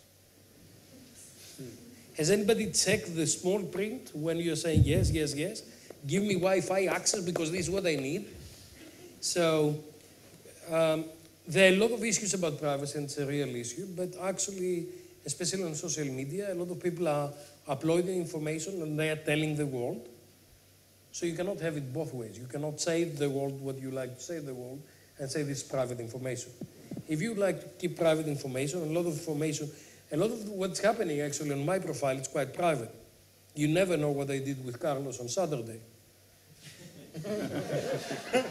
Not at all. What you know is what I wanted you to know that ha- what happened with Carlos on Saturday. Okay. Um, so and I think I think I think that people are learning how to deal with um, privacy issues uh, by first controlling their actions. But I, I had recently a, a surprise by looking back into Google Maps that knew exactly where I went, which day, how long I stayed. I, was in Athens with my mom. How long did I stay in each place I visited? And I, I had forgotten where I had gone on that day, but Google Maps remembered. So privacy is a real issue, but actually, we are dealing with privacy. It's very subjective, and we're learning, we're learning to do that in a different way. Don't know if Stan Yeah. would like to. Stan, if you, if you want to pick up one of the questions, yeah. Yeah. uh, uh, Well, one of the questions was about tourism and religion. Yes, it's, uh, it's from well, an so online viewer from India. Yeah, it's difficult to find the link uh, in our case. Uh, but um, what I can say is that uh, um, robots can be used also as priests. Uh, practically, they are unlimited applications. Of course, just for reading. But I would go. Uh, would like to go back to the uh, to the privacy question. Uh, yeah, um, inf- all information that uh, we create online remains online. Uh, the question is, uh, should we freak out that it, someone is reading the information? I have a more pragmatic view on this and think that, uh, uh, okay, my information is already there, but I'm not so important that someone will spend the time to actually read what is there. So uh, I'm not quite concerned about, uh, about all, the, uh, all these things, although uh, it, it's good that we control what is, uh, what is posted uh, online. But in any way, technologists already collect information about us. Let's go back to the religion question. Um, religious tourism is one particular form of specialized tourism, and the biggest event every year is the Hajj, where Muslims are going to Mecca for praying for three weeks, and Umrah is the they're going to Mecca outside the Hajj period. And that's something I really want to study, and I've started with some colleagues in Saudi to actually look at that because Saudi is opening tourism and Hajj and religious tourism is one of the biggest things. What technology will do, like any other things, any, any other form of tourism, is facilitate that and, and provide particular information for people who are going to religious pilgrimage and all kind of thing. A friend of mine recently did the Santiago de Compostela um, route, and, and again, it was a month worth of walking um, with the religion kind of uh, theme. It's, it's like any theme. Um, you are creating communities and ecosystems to actually manage that particular activity. And okay, um, religious tourism has got an element of spirituality and pilgrimage and a lot of other things. But when you're looking from a computer and information systems point of view, it's basically like any other special interest tourism where you've got milestones and you've got supporting services that are going there. So, you know, a religious tourist may be going to church, a wine wine-based tourist may be go- going to wineries, uh, a surfing tourist may be going to the beach to do surfing. It's, it's for us to understand what is the particular needs of each particular um, uh, specific form of tourism and creating the ecosystem where things are happening. Um, something in particular on religious tourism, there's now quite a lot of material that's available out there, and there are very strong communities that facilitate religious tourism. And, and I think it's, you know, in the past, you know, um, you'll have the church, the physical analog church, um, and the people who go to the church, um, undertaking uh, religious travel in particular, in particular ways. Now you've got a whole range of other things like, um, uh, you know, you can watch things online, you can do um, live streaming out of um, the cathedral, you've got a lot of engagement, offline, digital and analog, coming together to facilitate a whole range of different elements and bring um, the ecosystem together. And there was another one that yes, was... there's a question regarding uh, relation or the restrictions of climate change on this uh, transformation. Maybe also revolving when we think about artificial intelligence, it, it computes a lot of data, but it, it also consumes a lot of energy. It might pose a, a like an obstacle to this uh, evolution that we have foreseen mainly in, in Stanislav presentation. What, what are your thoughts regarding this topic? Um, yeah, if we make the energy balance, if, for example, automation technologies make travel more efficient, so that we practically save on fuel there, and uh, it may turn out that they compensate for the additional harm that we create for the environment through the additional uh, calculations that have to be uh, have to be made from the data centers. Um, this, this is a very false question because in the, in the sense that uh, information technologies are increasingly more green. Mm -hmm. One of the, the greatest uh, technology hypes that we've made was to create green ICT. Mm -hmm. So we have lowered the costs of computation a lot. Of course, we increased the number of computations that we do a lot too. But um, I just uh, um, read this last week from Facebook um, engineering team that we've basically reached peak computation.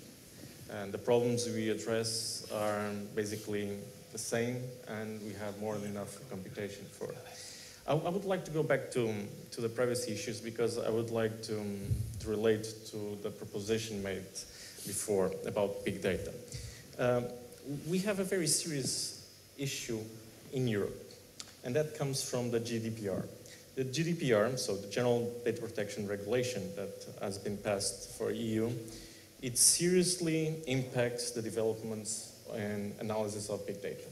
And when we talked about merging information from transports and hotels. There are various issues related to GDPR that, un, that void us from using really that data the same way our colleagues in the States and Asia.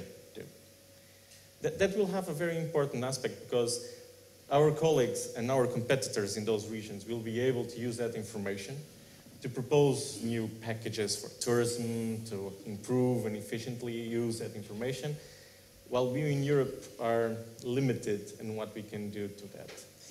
Of course, we can say that it is um, everything that I do is already open. I decided to give it away. But the GDPR was posed because there are serious issues associated with that information. It's fine. I can think that no one wants to harm me. But the information that I make available unawarely can be used and tracked in ways that I cannot foresee. And today, I may be, well, I think that I'm doing everything right. Next day, I can be persecuted. And that's the, the reason why EU decided to protect its citizens.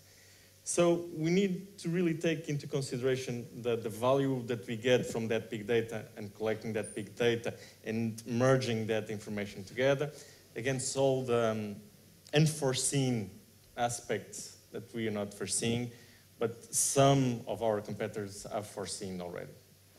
So it, it is very, very special and delicate aspect to, to adjure.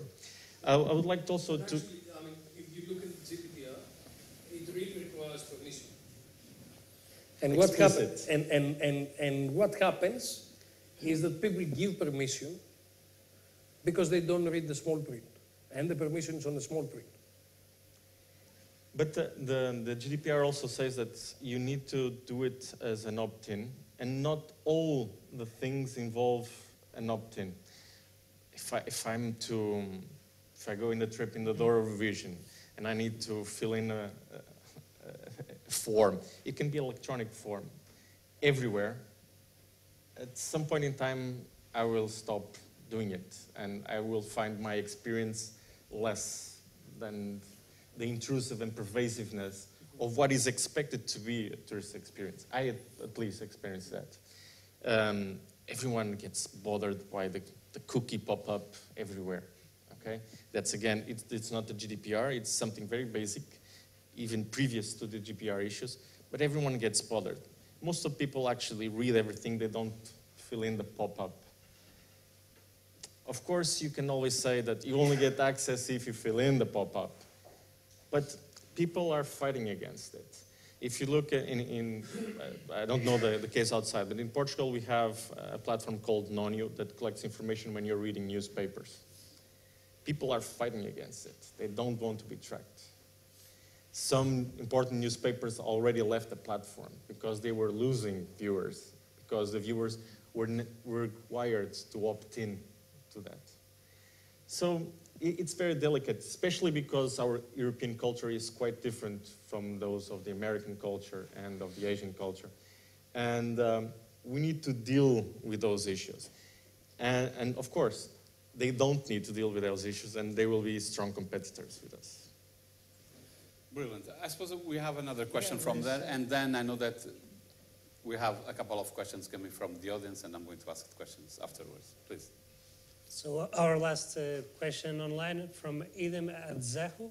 I'm sorry if I have mispronounced it. So he says, most people talk of the African continent as destinations for the future. How can these destinations prepare to receive visitors who want it uh, now to enhance the experience in Africa, African markets? Africa is developing really fast, and the population, if you see some of this Stanislav um, uh, uh, slides, the population in, in Africa is going to grow dramatically by 2050. Um, Africa has got major issues um, in terms of resources, how the resources are used, in terms of peace and how, you know, safety, security, and more um, specifically to tourism, um, you really need to develop infrastructure and you really need to develop uh, transportation. If you want to go from one African country to another, quite often it's more effective to go back to Europe, mainly Paris, and come out to Africa again. Because the internal transportation in Africa is quite, quite underdeveloped. And, but there are a lot of developments right now in, with conference and, and there's the first um, Tourism African Council getting together to take some of these things forward and to develop Africa for the future. But I think, I think it's really critical for Africans to take ownership of this. I've been in many African countries and quite developed as well, where they will tell me that your safety security is actually um, uh, is a, you're under danger to the degree that you cannot you cannot have your, your hand on your on the door of the car. So I think Africans need to take ownership because quite often I'm, I'm, I'm involved a lot with Africa and quite often they say, come and save me. That's what, you know, we have got the right to be saved, which is fine, but I think Africans need to take um, ownership of their own destiny. They need to improve peace, safety, security. They need to engage in conversation with other African countries they need to develop infrastructure, use resources better, and gradually they need to develop transportation between African countries. And the product, the African product, is amazing. It's authentic, it's fantastic. And you know, there's the nature that's phenomenal, the, the cultures that are phenomenal. They are very authentic because quite often they are not very mixed with a lot, a lot of other places. So as a destination, it's fantastic, but they need to to sort out the infrastructural things and the peace and the safety security. Yeah, let me ask uh, Stan to come also to, to, this point because your views about, uh, for instance, of course, that I'm not going to, to mm -hmm. place this on um, too opposite extremes, I would say. But um, when you are talking about robots, mm -hmm. you are addressing this, namely in terms of the world's population. And as you, as you have said, I mean, we have problems in Europe and in many other countries, even in Japan, Portugal as well. And, but when it comes to Africa, of course, you do not have a problem with the population. Of course, that the question about robots is mostly about demographics, or how, do you see this? I mean, would you please expand on this? Yeah. Um, the well, companies have, will be forced to use automation technologies and robotics in particular because of the lack of sufficient employees on the market. This will be, this will be the case. So uh, they will be widely used in uh, Europe, Far East, US.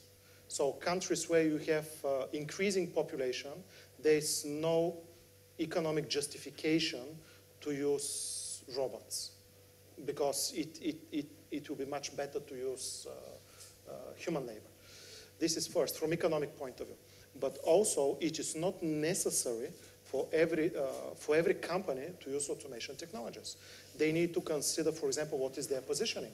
I would expect, for example, the use of uh, high-tech automation technologies, let's say in the Far East or in Europe, in the US, but uh, African destinations, for example, they can create a completely different experience, which is high touch rather than high tech. And uh, they will be com more competitive on the market with such experiences rather than with automated experiences.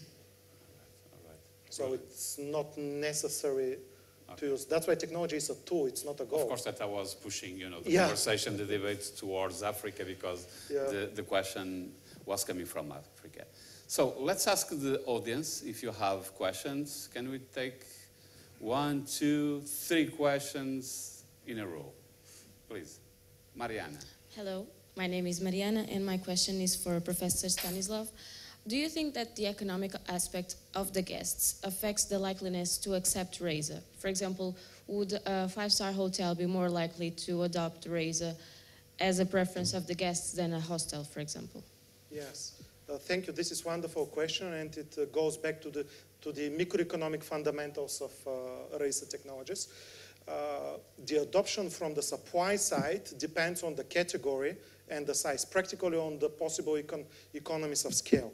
If you have a five-star hotel with 5,000 rooms in Las Vegas, you can easily have 100 robots for room service delivery, uh, as concierges, for entertainment, for as uh, waiters, uh, for creating experiences. If you have a hostel with 10 rooms, then it's absolutely no economic reason to use uh, uh, rob robotic technologies. Practically, it will be so expensive that you can never uh, uh, recoup your investment from uh, such in such technologies. So practically, yes, you need larger size and you need higher category. Uh, in order to uh, compensate for this. Uh, but of course, this is not, this is when we talk about robots. But when we talk about kiosks, and uh, other technologies, then it's possible to have it also at uh, lower category. For example, in Varna, uh, we have one hostel with 20-something rooms, which is completely automated. And if I remember well, the price is something within the range of 20, 25 euros per night. So it's also possible, but they don't have robots there. They, they, they have a kiosk as a receptionist. Okay, brilliant. Thank you very much. Second question, Ivana. Hello, good morning. Uh, I have a question for Professor Diogo, uh, particularly about what you mentioned that you're working at the moment on 6G. So I'm curious to know, and I think a lot of people also don't know the differences between 4G, 5G, 6G. So could you enlighten us a little bit on that aspect, please? Thank you. Okay, uh, that's a question that puts us a, a, little bit far from the topic of this of this meeting. Um, since, since we started working in 3G, and that was a long time ago, um, each generation is an increment from the previous one. And that relates to my initial statement that we can do it for the sake of technology and increasing speed, increasing range, increasing energy efficiency. But most importantly, and we started to pick up at the end of 4G and, and 5G was mostly about it, is about applying that technology to real use cases and applying it to smart cities, smart factories. These have been the, the most important use cases for, for 5G. Uh, we're now starting to discuss the, the enabling uh, use cases of 6G. Uh, most probably it will be about sustainability, it will be about new important um, use cases for our current society. Uh, maybe we can uh, push tourism to be one such use case uh, for, for the future. But it's, um, of course, we will have more speed, we'll have more increased uh, rate. We, we always have more technology per se. But um, the use cases are increasingly more important for the economic sustainability. Um, I'm, I'm going way out of the topic, but into the economic aspect. One, one thing that which is very interesting, and we had last week here um, a talk about 5G, and we also talked about what's coming on on 6G, is that most telecom operators have not deployed 4G yet. And you ask yourselves, mm, how is that possible? Now, the, the thing is that the cost of deploying a new network is very high. The return on investment is low. So you really need to have a very good use case. Therefore, we need to come up with uh, these use cases that strengthen why should we do it. Because as technologists, we, we just develop the technology, but someone needs to make an economic use case of it. And uh, as we go into 5G, what most certainly will happen is that many people will just skip. And we're talking about Africa and the lack of infrastructures in Africa. Africa will probably jump two generations. Yeah. They, they will just skip it because tourists are going there and they want to use social media. They want to stream. They want to do a lot of things. Technology is not there, and we will need to give them that technology so that the tourists that go there can actually have the experience they expect. But Africa has missed the, the cable revolution, and it's actually much cheaper now to go to the 5G because they haven't got the infrastructure. They, they don't have to dig the roads effectively. Exactly, and, and it's one of the leading aspects of 5G. One, one of the things that 5G did was to create a, a high bandwidth backhaul, exactly because we see those targets and we see the need to, where 4G was not able to be put in, we developed the technology to fill in the gaps. Um, I, I, was in Africa this summer uh, in, um, in a summer school, and I could see there that uh, people want to use it, they don't have the technology to use it. I, as um, a tourist, besides doing my summer school, I was also a tourist. I could not have the services I was expected. We get accustomed, it was the Wi Fi. Where's the Wi Fi? I was not looking for Wi Fi, I was just looking for 3G. Okay? I was, I was fine if I could get 3G. So, technology needs to get there so that your experience is the, the expected one. Automation wise, I, I find that something that was very strange to me, but they have a lot of population. But it, it, make, it confused me a lot that people working in the service, so at a restaurant or a receptionist, they do not have enough education to serve you properly. Um, I, I was scared because that will temper their development. And I don't know if technology can help them fill in that void.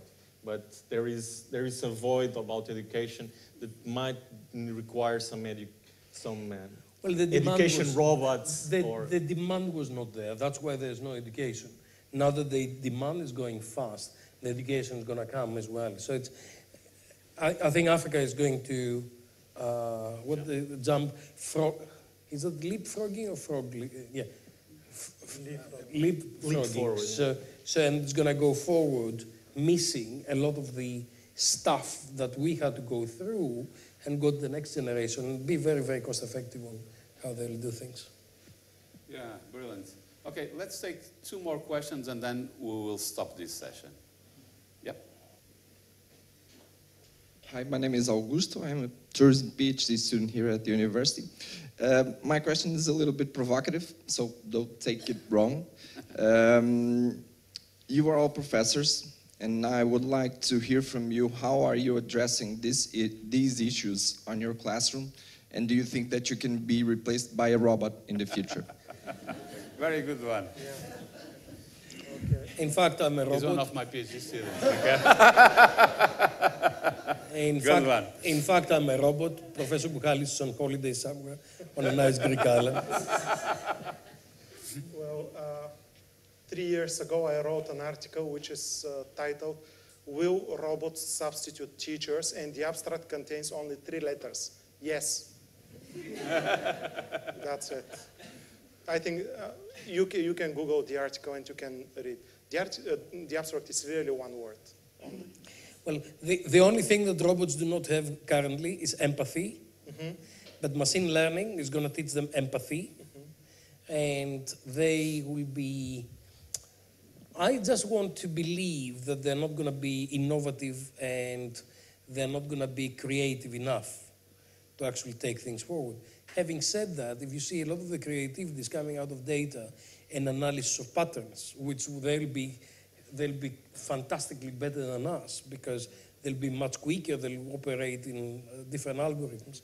Um, but I think that empathetic kind of thing, the fact when I see someone, I understand a lot of the things that uh, for this person, that a robot will take awfully a lot of time to understand. And the other, the other thing is that um, the feedback process. Uh, when I design a tourism product, I'll suggest something based on my experience to someone who's in front of me based on what I understand that they'll need. But then I'll be very switched on to pick up signals back to see if that actually fits on this context in that particular time in now or not. Uh, a tourist, you know, I was staying in a hotel last night. The tourist who is going there for a conference is a very different tourist who stay in the same room on a leisure kind of thing. And it takes a split second to make decisions and to say, do this or do that. And I think, I think empathy is something that hopefully robots and, and innovation, creativity, that robots are not going to create and thinking out of the box because by definition, a robot is doing what the programmer has told it to do. And then it's improving by machine learning, getting more information about these things, and react to a situation based on what happened and the feedback of that. So it will say, yes, I gave you a, a, a bottle of Douro uh, wine, and the feedback I got was better. But I will have that impact, uh, that feedback instantly so my machine learning is faster than the robot, and especially as far as emotion is concerned. I would like to go back to the second part of the question, how we address this uh, in our class, in the classroom. Um, in, uh, in my classes, I, I have few lectures on, on this, so it's not a whole uh, program, it's not a whole subject, the whole module, uh, but in the next semester, from February, we are starting a whole module with 45 contact hours, which is uh, technologies in travel and, and uh, tourism, where all these issues, including the, uh, including the social impacts, the ethical aspects of uh, robotics, which uh, they will be discussed in uh, greater details. It was a very good question and excellent answers, as you can see. So let's move on for the last question. Who's going to ask the last question? Mariana, for the second time. She's also working. She's doing a thesis on robo. Yes. Oh, okay. Hi again. So my question now is again for Professor Stanislav okay. and also for Professor Diogo. Do you think that considering the problems that tourism is facing right now, let's for example with data security, with terrorism, do you think that the robotic laws are up to date?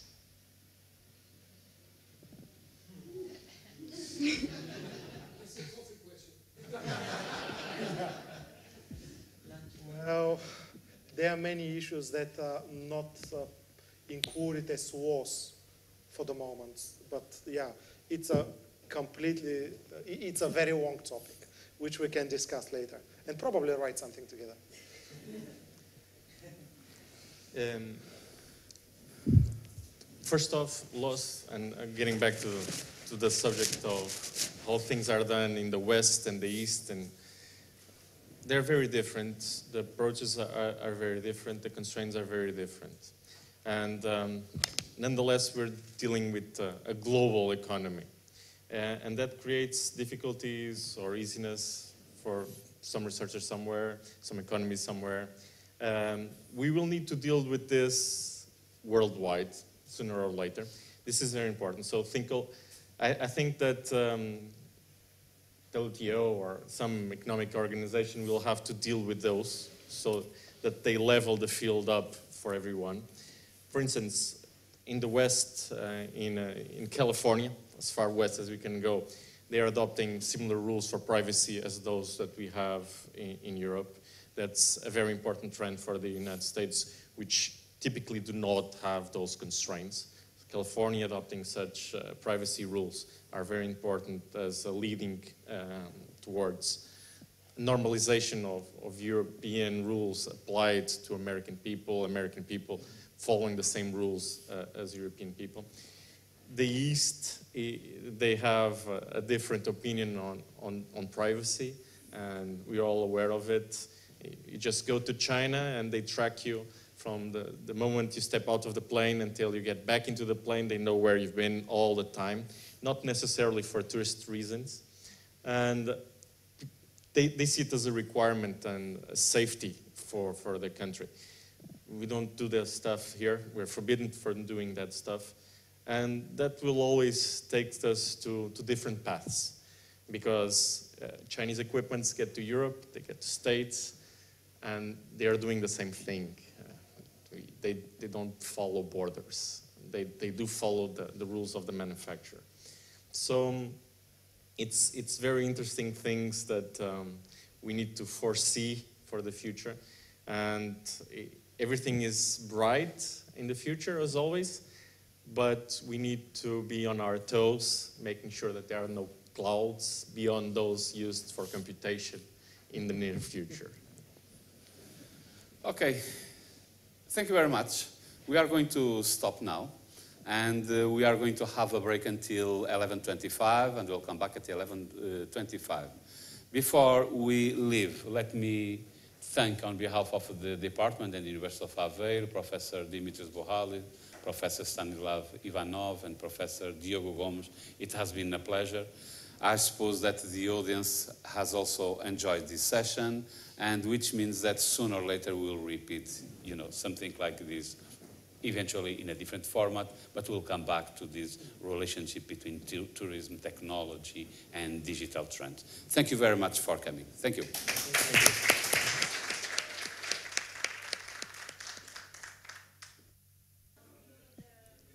So I will please ask you to get back to, to your seats, please.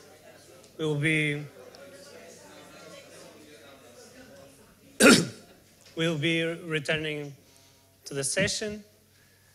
But now we have been talking more about the future trends regarding technologies and digital and digital solutions. But now we're going to have a, a new focus which is on another trend, which is less from the, the supply side, more from the demand side, uh, regarding sustainability issues and the circular economy, which is actually a new vision of the, of the economic system and uh, how this will also entail in the, in the tourism sector. Uh, for this, we'll have a, a few uh, presentations from our international speakers. We'll start with uh, Cinzia De Marzo, which um, is a former second national expert, which worked with the European Commission, Before. have worked with uh, the Council of Europe. Yes. In the WTO, also collaboration with the UNWTO. And, uh, and also in the European uh, Tourism Indicator System, yes. right? Yes, Which that is was my file, my dossier, yes. And uh, she, she will be starting uh, with the first presentation. Exactly. so, you. I start too soon? Okay, I will show. Um, let me say how can. Uh, yeah, so you, you just have to. Okay. Downwards. So, first of all, good morning to everybody. Can you hear me? Because, yeah, this microphone is not always uh, very well positioned. So, uh, as uh, Hugo said, uh, my name is Cinzia De Marzo. Uh, my professional profile is lawyer, specialized in European Union law.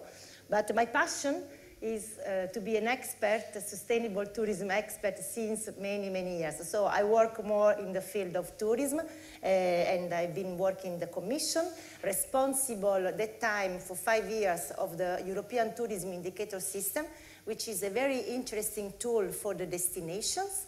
And I remember many, many destinations, they were excited to collaborate with the Commission at that time, between 2012 and 2016, because without measuring, without having uh, information and data at local level, you cannot manage. You cannot, uh, let's say, make a good strategies for your destination, especially regarding the uh, impact uh, of tourism, uh, especially regarding the impact of environmental, social, economic also. Uh, let's say, mm, management part of this, of this uh, economy, uh, economy that is also uh, growing from the destination. In my presentation, I would like to uh, focus more uh, in a very important strategy, which is the circular economy at European level in the context of sustainable tourism. Why? Uh, because uh, since 2015, the European Union is more uh, interesting in this uh, as a priority in this uh, new vision of the economy at European level in the way of circular, in the way of using recycling, using attention for the um, wasting management, for the water consumption, for the energy consumption. So all these uh, priorities has to be also linked with the sectors. In particular, regarding tourism, not many, uh, so far, let's say, not many policies has been related to the connection between circular economy and tourism. I would like to show you this. I would like to start from the as a lawyer, I'm sorry because this is my mentality, I would like to start with the EU policy framework because, as usual, we have to understand where we are, what, where we are starting from. And uh, as an expert on tourism, when I had many experiences with the local managers, with the uh, tourist SMEs, they don't know, many of them, from how to start. They don't know how to align their uh, activities in which framework they have to be considered.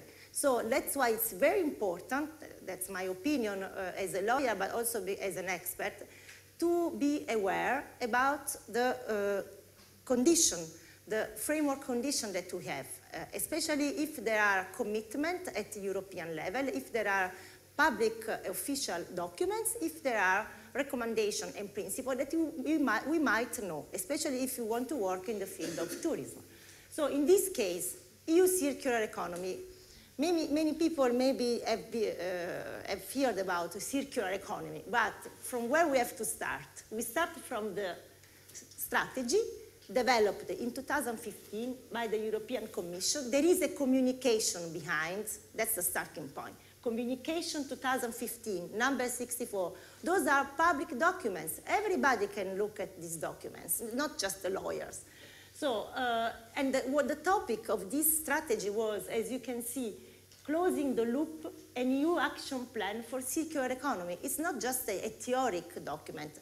Within this strategy, it's been foreseen as an action plan, action to be taken from whom, from, from what kind of uh, target, public and private, and private target.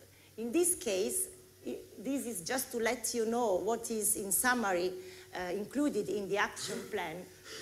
legislative proposals, when we think about legislative proposals, we think about uh, mandatory uh, action that member states have to take. That's uh, related to the competencies of the European Union. So legislative proposals, it's possible in some sector, in, in, the, in the case of water reducing landfilling and in the case of recycling and reuse. Uh, then the Commission remains fully committed to integrate the circular economy principles across different policies areas. That's why I would like to show you to what extent tourism is included in these policy areas. Uh, in the action plan, uh, in particular, the main actions are related to the production uh, and the consumption, repair, manufacturing, waste management, and secondary raw materials. Then, just to see, uh, related to tourism, as I said, what are uh, the main uh, of tourism that we can uh, link with the circular economy approach the circular economy approach means to focus on the uh, consumption, the production, in the way of reducing the impact, in the way of recycling, in the way of reusing uh, the same material for different purposes. Well, you can see food, food waste, and tourist establishment and restaurants. That's the main uh, impact that uh, is linked from the um, uh, tourist sector uh, with the circular economy uh, action plan and strategy. Restaurants, in particular, are the second largest source of food waste after household and hospitality service. So that's why. And what are generating? Are generating up to 20% of total food waste per year. So that's why we should be aware about the impact that is generating the tourism sector, particularly the restaurants and the hospitality services, in this uh, framework of the circular economy strategy. And to be aware that uh, if we want to maybe to uh, receive from the point of view of uh, let, let's think about the private sector. Always the private sector the enterprises they are always looking for money.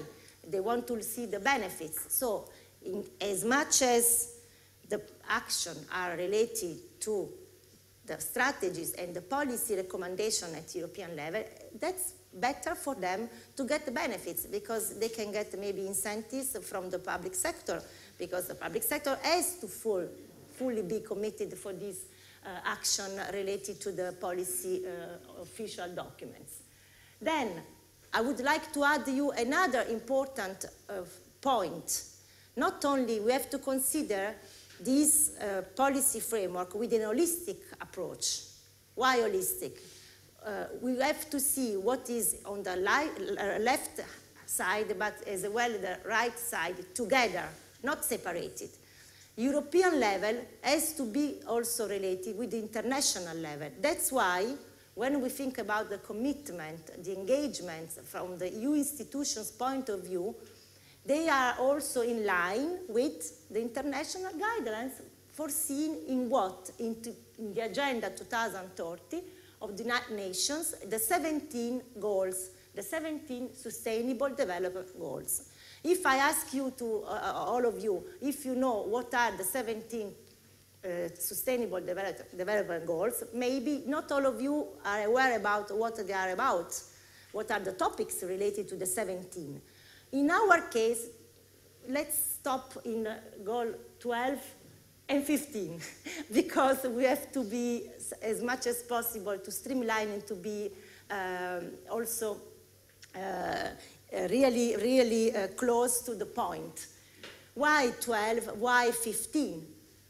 12 because the topic of 12 is responsible and sustainable consumption. We were talking about the strategy circular economy and what is about is about the, all the value chain from the production to the consumption. So that's why we have to be aware about the responsible and consumption and, and, and the responsible and uh, sustainable consumption and production.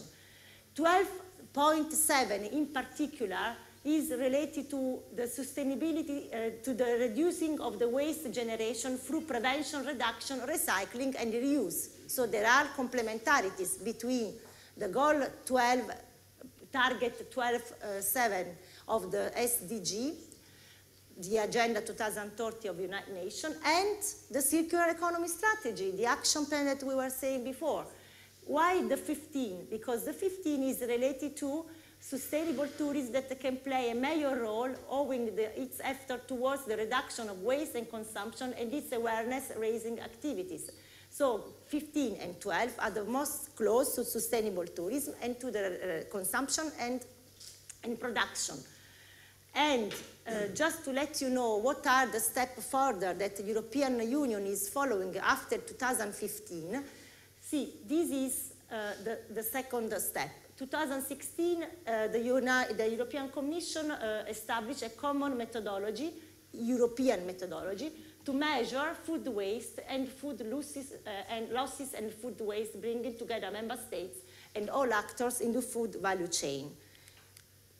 And that's, oh, sorry, uh, no, I'm going, yeah. Uh, that's the, the second one? No, because, sorry, because I don't, yeah. That's what happened after the uh, approval of the strategy in 2015. One year later, as I told you before, I was the responsible ETIS. ETIS is the European Tourism Indicator System. Indicators are criteria, criteria that help uh, all the, uh, let's say, responsible stakeholders, public sector in particular, to measure to monitor, to get data, to collect, to gather information, indicators, criteria. So we need to think about this. Uh, in the same way, the European Commission was thinking in the circular economy strategy about the need to develop indicator, a framework of indicators. That's why they set up 10 key indicators, uh, meaningful indicators, uh, um, specified in four, in four uh, stages, uh, in order to measure also the circular economy impact through the different sectors. Those are the four uh, main areas, production and consumption, waste management, secondary raw materials, competitiveness and innovation. And uh, all these now, these indicators are uh, under implementation uh, because the process started in 2016. And uh, as you can see, this is the improvement of this framework in 2018. Uh, I like to uh, uh, I, I, like to highlight the contemporary uh, process that you can see 2015, 2016, 2018. We are not talking about 20 years ago. We are talking about something very new, and that's important for all of us to, to be aware about the contemporary uh, process of this uh, policy, uh, dynamic policy uh, framework because we can be involved. Because it's not something related to the key players, it's related to all of us. We can be aware, we can learn about, we can use it. That's, that's my opinion and that can empower our action, daily action. So in the case of the circular economy monitoring framework, just to give you an idea, that's the indicators. I don't want to go into details, but just to know, let you know, that there are those indicators in order to be more focused on the uh, um, uh, calculation of the impact of, of the different sector related to the four macro area like uh, consumption or raw materials or innovation and competitiveness, as you say, see. Uh, innovation competitiveness. You were talking in the panel before. I, I, I, missed, unfortunately, because I just arrived from Brussels this morning. But then, then let's see um, that's, no, I'm sorry because I'm not very, let's see another point. So far, we were looking at the circular economy strategy in particular, and we understand that there are link and synergies also with the, the tourism sector. But as I said before, holistic approach means also looking at the complementarities between different policy frameworks, different uh, uh, recommendation in place, which are somehow complementary. This is the case. Uh, I made a selection because as an expert, let me say that uh, at least I can do in uh, one day what other people need to do in one month because I have this knowledge in my head, in my bag, in my shoulder, small shoulder, but there is a knowledge there. So that's why I can make this selection. And uh, you see, again, I like to, to show you this uh, chronology between the time. So 2015, even the agenda of the United Nations, the 17 Sustainable Develop Development Goals, and uh, the, particularly the 12 and 15 we, we saw before, it, it was being approved in 2015, the same year of the EU Circular Economy Package. So same time. Last two days ago, three days ago in Brussels, the new commissioner uh, approved the uh, new Green Deal for uh, the, the, let's say the, the next seven years in, in, front of us, 21, uh, 27, uh, 2021, 2027, and and on the top of this new Green Deal, European New Green Deal, what is written there? I had a look. Circular economy, digital agenda, sustainability, sustainable development, and climate action. Those are the, just to, to, to, to summarize, the main, the main pillar for the new uh, period. It's not the new, it's the current period because it already started. But that's just to let you know that circular economy is there. And, and then the alignment to the Agenda 2030 of the United Nations, which is becoming an umbrella, an umbrella for all of the action at European level. So 2015, same time of the strategy, the circular economy. Then 2016, there is another communication. Communication, just very under bracket, is not a binding document. It's a very uh, soft document from the, the Commission uh, indeed, there is no legislative uh, power behind. It's a, it's a soft document. At least there are content and principles there. So in this case, this communication is very important. A next steps for a, a sustainable European future.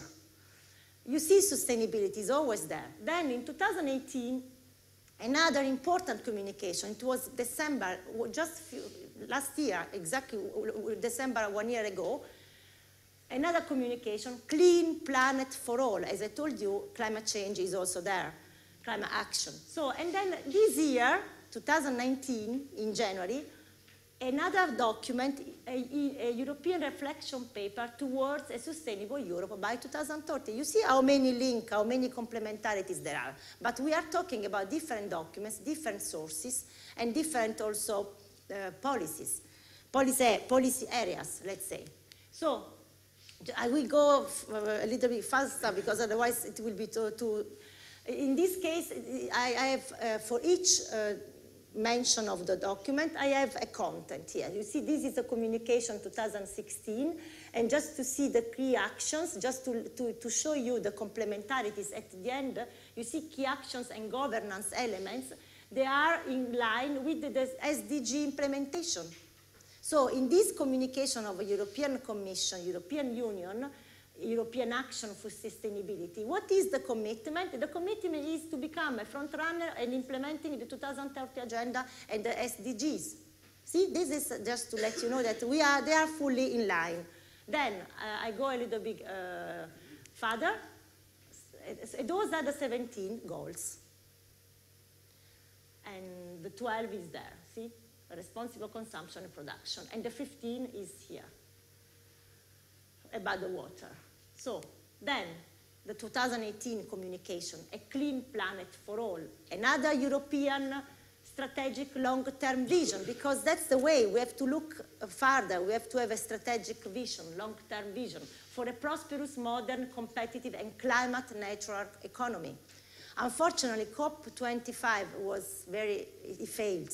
I, I, read an article this morning on Financial Times, unfortunately, in Madrid last week. But then at least there is a commitment, and uh, you can see uh, that uh, what is needed also, and that's about us, behavioral changes by individuals and companies. We must be part of this loop, not say this is a responsibility of our governance, uh, governments or, or, or, the industry. No, it's also our.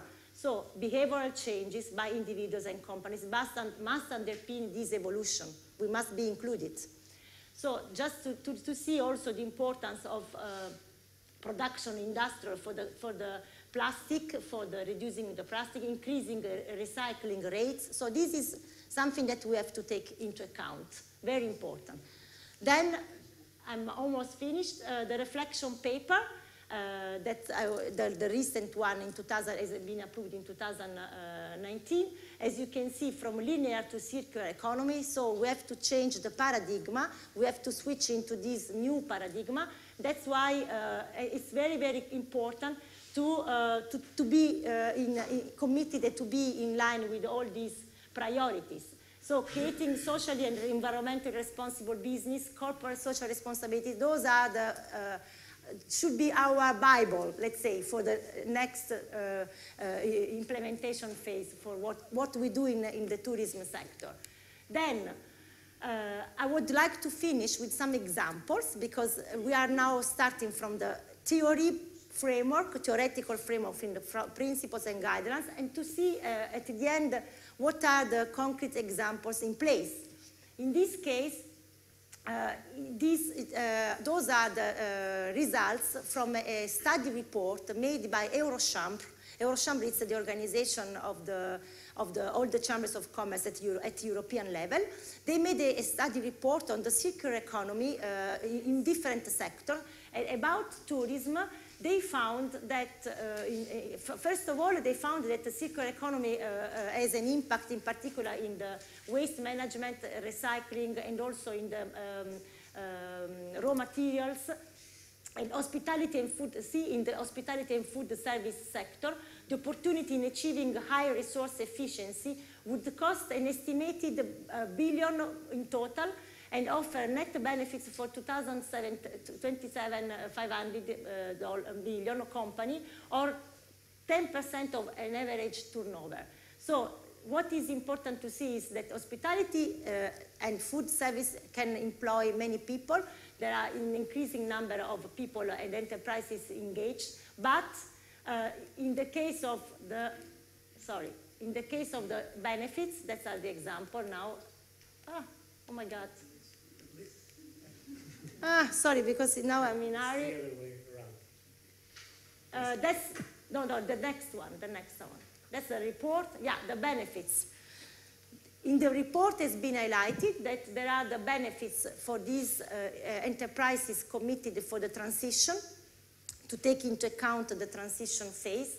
And you see the transition to a circular economy, including to a circular bioeconomy, is a huge opportunity to create competitive advantages on a sustainable basis. So we must really think about the uh, benefits and not the uh, binding issues or things that they have to limit the, the, the activity of the tourist enterprises. Applying circular economy principles in all sectors and industries will benefit Europe environmentally and socially. That's what we have to think about. And those are uh, uh, data coming from the report analysis made by Eurochambre this year, in published in 2019.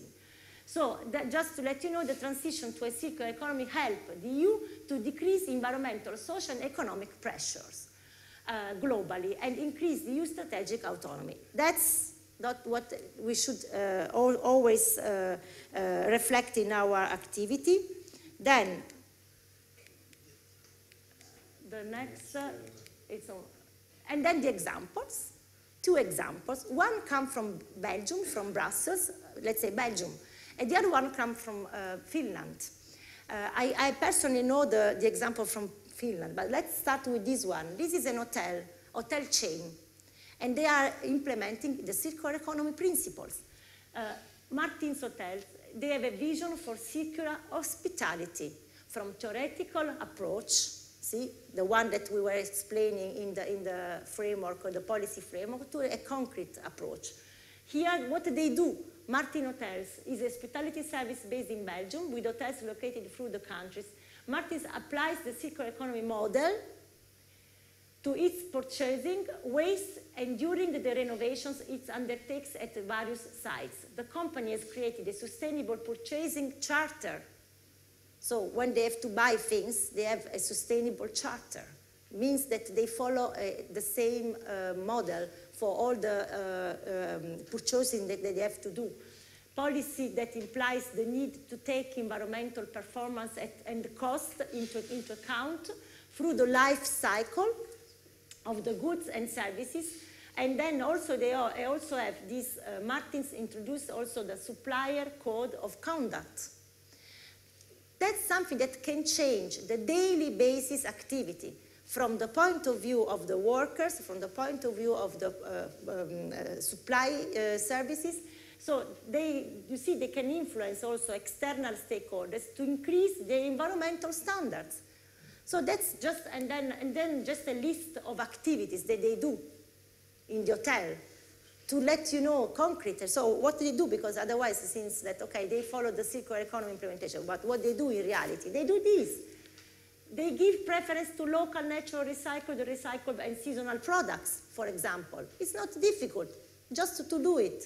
Then they encourage suppliers to, to, to, to, to follow, to, to implement the code of conduct, minimize the flow of incoming waste and recycle. They work exclusively with authorized suppliers in three regions, exclusively. So they made a, they made a selection. They want to find uh, just the authorized suppliers uh, and comply 100% with the technical legal requirements in terms of safety, compliance, and maintenance of technical equipment. So they have this big commitment and they are coherent. They do on daily basis this activity and therefore they are implementing the circular economy strategy in very, very, let's say, full, uh, full uh, uh, percentage. And also they see the choice providers with strong environmental policies, uh, they purchase 100% uh, of green electricity. So that's just a list of activities.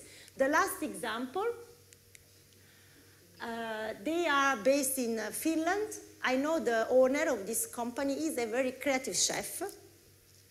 He's traveling around the world. He said, I feel guilt because I have to pollute the area because I, have to, I make a pollution because I, have to travel by plane. But I have no choice because he's invited across the world to, to explain uh, his uh, experience, his, his uh, innovative experience.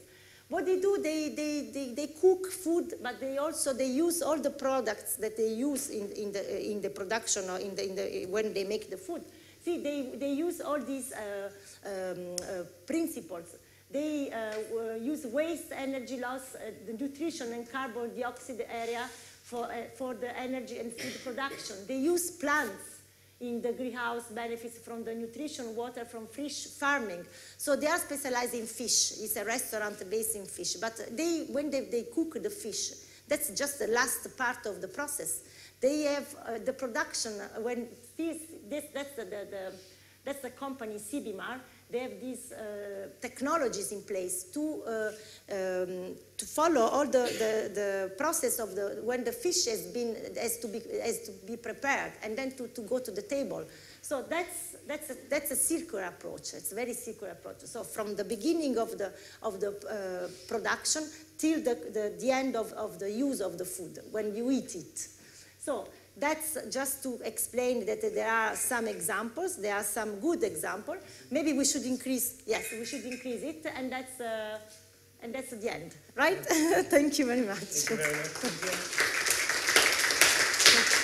Thank you for this. And also maybe, maybe you can, so you can watch also the, the next presentation. I would like to call uh, Stefan Lazic. He's, he comes from Italy. He is the co-founder of Echoes of the Journey, which is an a project revolving rural tourism and communities evolving towards sustainable tourism. I'll, I'll give this, wait, wait, just a minute, please. And uh, he also is working with a project with the University of Bologna. I, just wait a second, please, because I yes. have to change.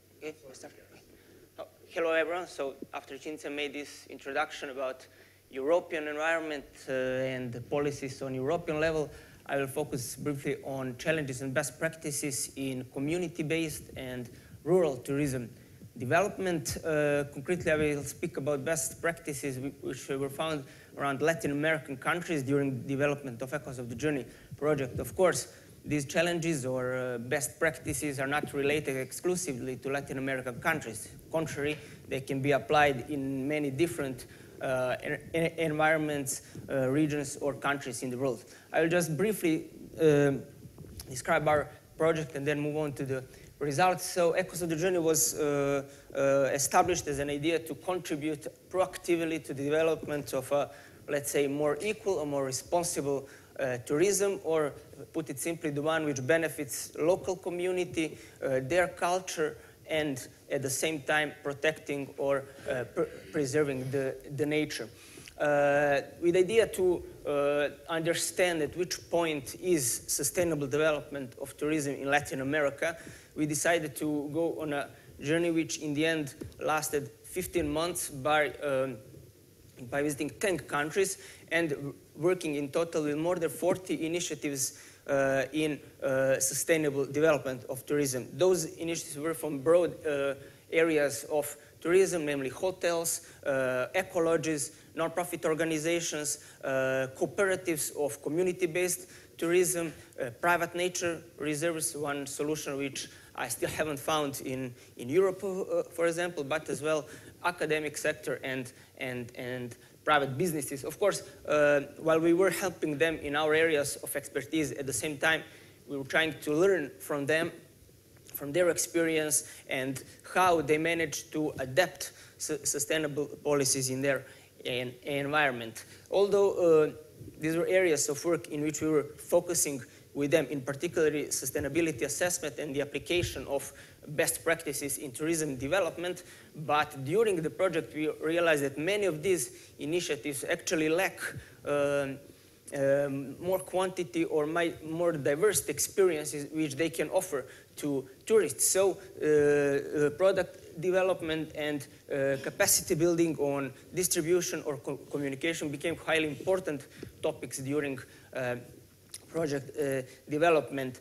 These are some organizations we started to before our journey and during uh, uh these projects, some of them are known such as GSTC or STI or Green Destination, but many of them, as well as I mentioned, were uh, local organizations or private uh, businesses. Uh, project was started in Argentina, uh, and once we have reached the far south, we have started to go up north until we have reached Mexico, where, where we have spent the last five months uh, working with, with Mayan uh, communities, which I will uh, describe a bit later. So uh, it's probably the, one of the most important outcomes of, of this uh, project what were the, the, challenges we found in uh, sustainable development of tourism in Latin America.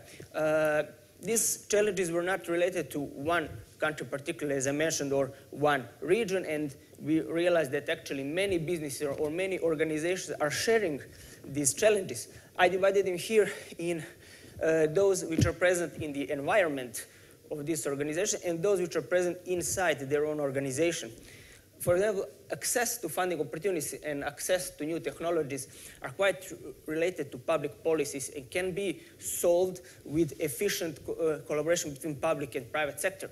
Many organizations are not aware of funding opportunities they have, or funds are completely excluded from uh, uh, regional uh, policies and, and, and uh, development plans. So simply there are not sufficient funds to support these businesses. On the other hand, there is a top-down approach as a quite common uh, challenge. Uh, many international organizations or foundations are uh, developing different kind of projects in these countries. But once the funds are over or the project ends, communities or local business are not uh, inspired to continue working and simply abandon this project. And it is something which is present in, in a variety of countries, unfortunately. On the other hand, inside these um, organizations, we found a lack of coordination between different stakeholders and lack of delegation of responsibilities. It shows that there is a still undeveloped communication between people involved in the same project or uh, delegation of uh, different areas uh, of work. It as well comes partially from another challenge see formal education and vo vocational training because many of, of those people who de uh, decide to dedicate to this project do not have uh, formal education in tourism, in economics or or, or, or administration, or simply it is not available in these rural areas. And because of that, quite uh, a few issues can, can appear in their activities. and as well, wrong image of, of community-based tourism. As you see, I put these three, three challenges in the between, which come partially from environment and partially from them inside. So as you might know, uh, community-based tourism has this image that it is low quality, that the, uh, that the service is not on a high level as it should be, or that it is uh, uncomfortable. It comes partially from the expectations that travelers have from community-based tourism, but as well from uh, communication or uh, the wrong communication uh, coming from the businesses themselves who uh, do not explain very well be, uh, the activities they do or ideas they have be, uh, behind this project. In order to surpass these challenges or to, to actually apply sustainability in tourism, development, uh, it is crucial to apply uh, practices in all three pillars of sustainable development, namely socio-cultural, economic, and uh, environmental. If we lack any of these areas, the, the final outcome or the final goal will not be uh, achieved. Furthermore, uh, by having uh, practices in, in in the environmental pillar, we can, uh, we can uh, achieve a regenerative role of tourism, which is next step from uh, su sustainability. And as well as Cinzia mentioned in one part, some solutions or some ideas need to be and can be applied in, in national or transnational policies and laws in order to incentivize businesses to apply them or uh, to motivate people to actually change the kind of development there. uh, they are doing. Some of this we have found in Costa Rica, Colombia, and, uh, Colombia and Peru. I will now go briefly through several uh, examples which uh, show us uh, all the positive sides of uh, application of best practices and show us what can we apply in, in local activities. First example comes from Costa Rica and it is Finca Exotica Eco Lodge.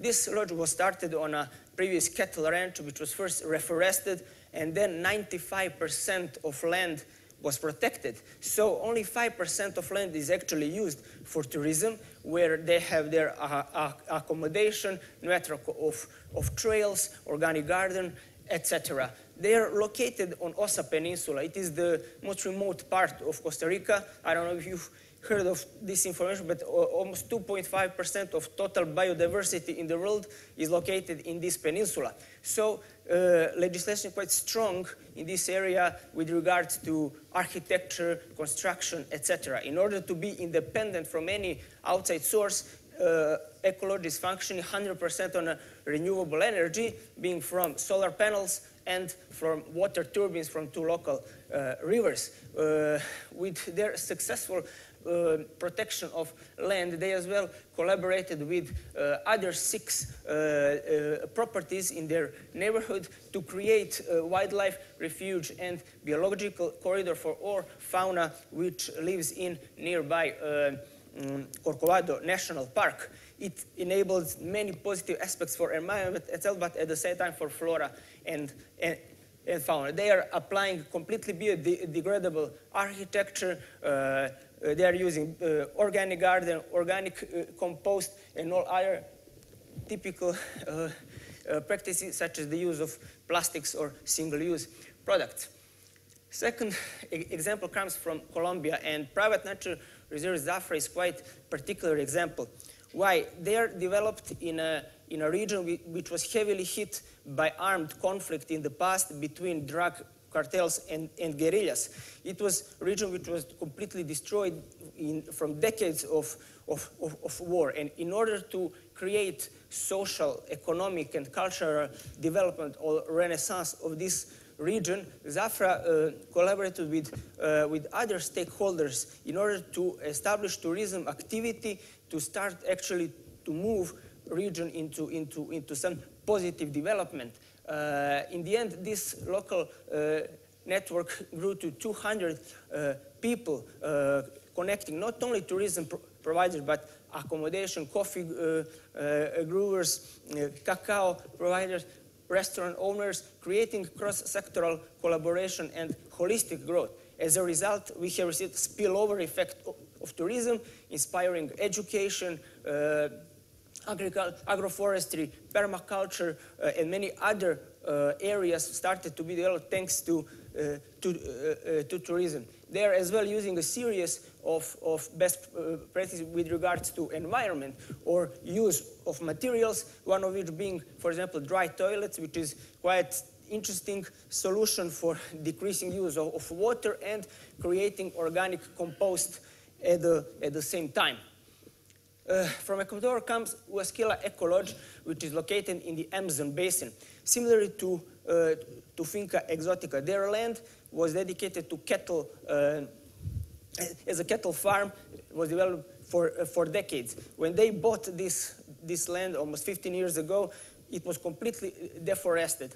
And when they started with the project of reforestation, a local indigenous community recognized the importance of reforestation and get completely involved in that. In less than 10 years, they managed to reforest 200 hectares of, of, of, land, which is now completely integrated into Amazon basin.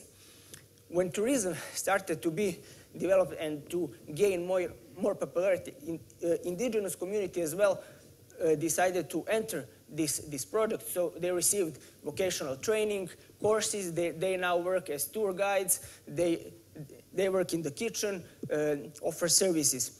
But not only that, they as well developed their own tourism project and started to receive visitors in their own village. So thanks to that, today almost 100 people are benefiting from tourism. They can present their, their culture to, to, uh, to the visitors. Of course, they, they are receiving visitors uh, on the basis of their preferences. So days which are uh, and times which are convenient for them, they decide on the quantity of groups and the quantity of people in, in one group.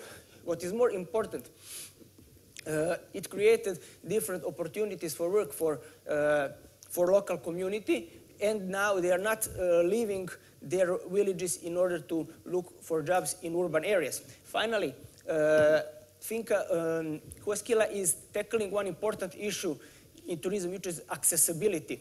They have uh, created seven lodges which are completely accessible for people in wheelchair or with reduced mobility. They have network of trails which can be accessed with wheelchairs and have educated other service providers to receive people who have disabilities. They have even created their own travel agency which is specialized in this kind of tourism experience. And finally, there are Mayan tourism cooperatives of Mexico. They're located in Yucatan Peninsula, which is the most touristic part of, of Mexico. They have received 14 million tourist arrivals last year. So in order to uh, benefit from these movements and to uh, sort of disperse the, the quantity of tourists present in Riviera Maya, many different communities established their cooperatives and started to offer experiences uh, based in their own communities, but as well offering tourism services. So uh, they started over excursions, accommodation, uh, food uh, provided uh, by the families. At the same time, it established uh, job opportunities for, for youth, empowerment for, for women, so that many of them, in the end, what is the, the case with Huasquila as well, did not leave their communities but stayed there to dedicate to the local tourism project uh, in order to sell these experiences and to, and to receive visitors. They collaborate with two operators which are highly specialized in uh, in um, community-based and rural experiences. So they as well decide on quantity of people, how many times they can receive uh, groups, and how many of them can actually stay in the community. Why? Because tourism is alternative uh, activity. It is not primary because agriculture and artisanal pr uh, production are two principal activities. Income from tourism, as it is as well case with many other uh, cases, is supporting protection of nature, is supporting main economic activity and provides sufficient funds to support education. Moreover, for example, person on this photo is actually uh, looking for endangered animal species around Yucatan Peninsula. He's bringing them to his own property and then he's breeding them for, for several years until they reach number which is sufficient to be then released in wildlife. So far, he, uh, he has breeded su successfully more than five um, uh, animal species, of course, in accordance with Ministry of Environment and, and Protection.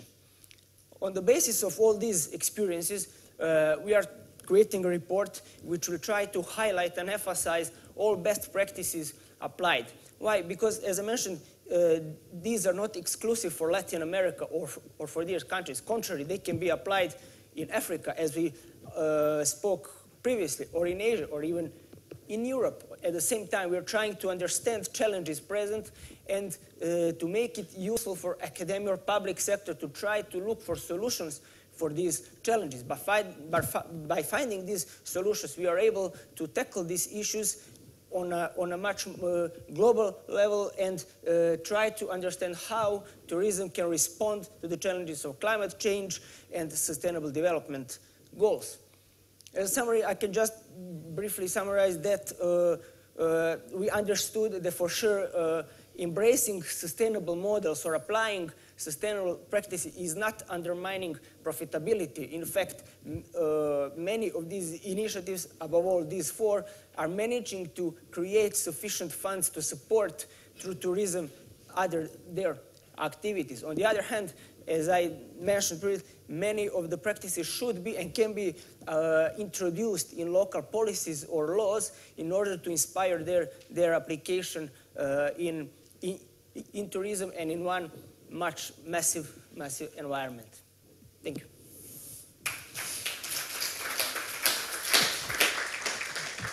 Thank you, Stefan.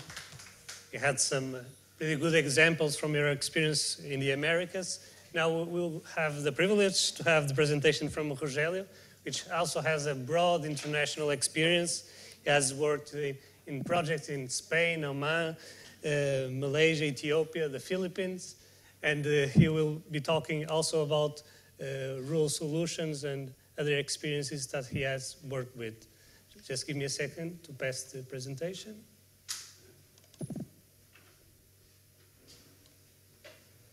Very much. This one.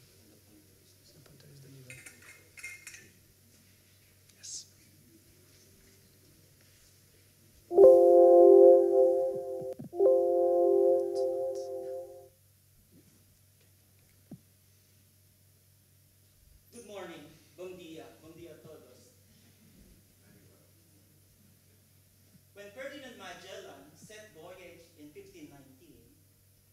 discovered and explored new places, bodies of water, and his ambitious expedition had proven that the world is round and much larger than we could have imagined. Moving forward from the 16th century to the present, what has happened and changed in our world? The world has changed dramatically. We have seen a lot of changes from the period of exploration to industrial revolution, development, technology.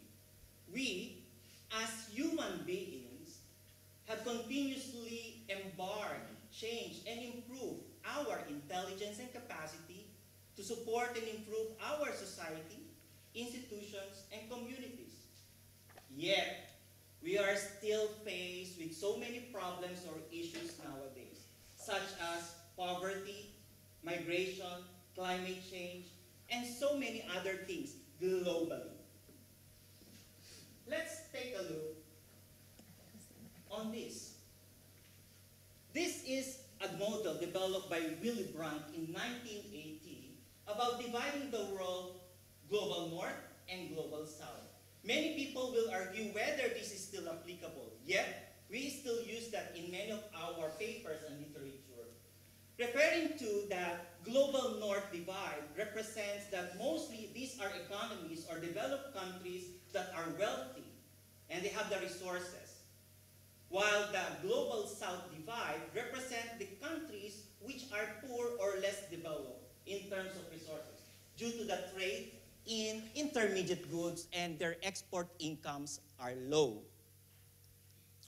2019, 500 years after Magellan set, uh, sailed and moved or explored the East, we are still sailing and exploring on how to find solutions and problems. Very good examples have been presented in the first session on how we are embarking and developing our society in terms of knowledge management, digitalization, artificial intelligence. But let be honest, let us be honest that in some parts of the world, there are even much more problems that are not as what we have seen earlier, or the, the, the situation, what we have seen earlier, but sometimes the basic necessity or services are not even available. And this is really the reality what's going on, especially when we talk about the countries, or we, we can say less developed countries or on the global south.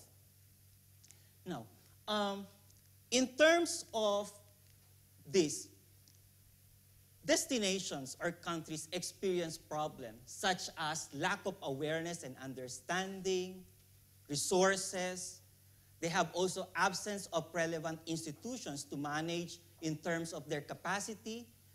When we talk about destination, we have this problem of weak destination management organizations, power imbalances between government and institutions, as well as, we can say, the socio-political constraints, which are really true and happening, just like also what Stefan had presented earlier.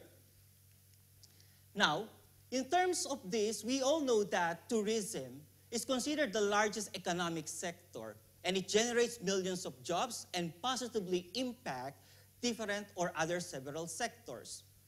It is considered one of the major players of international commerce and has impacted even our um, other sectors in terms of job creation and export, in terms of export earnings.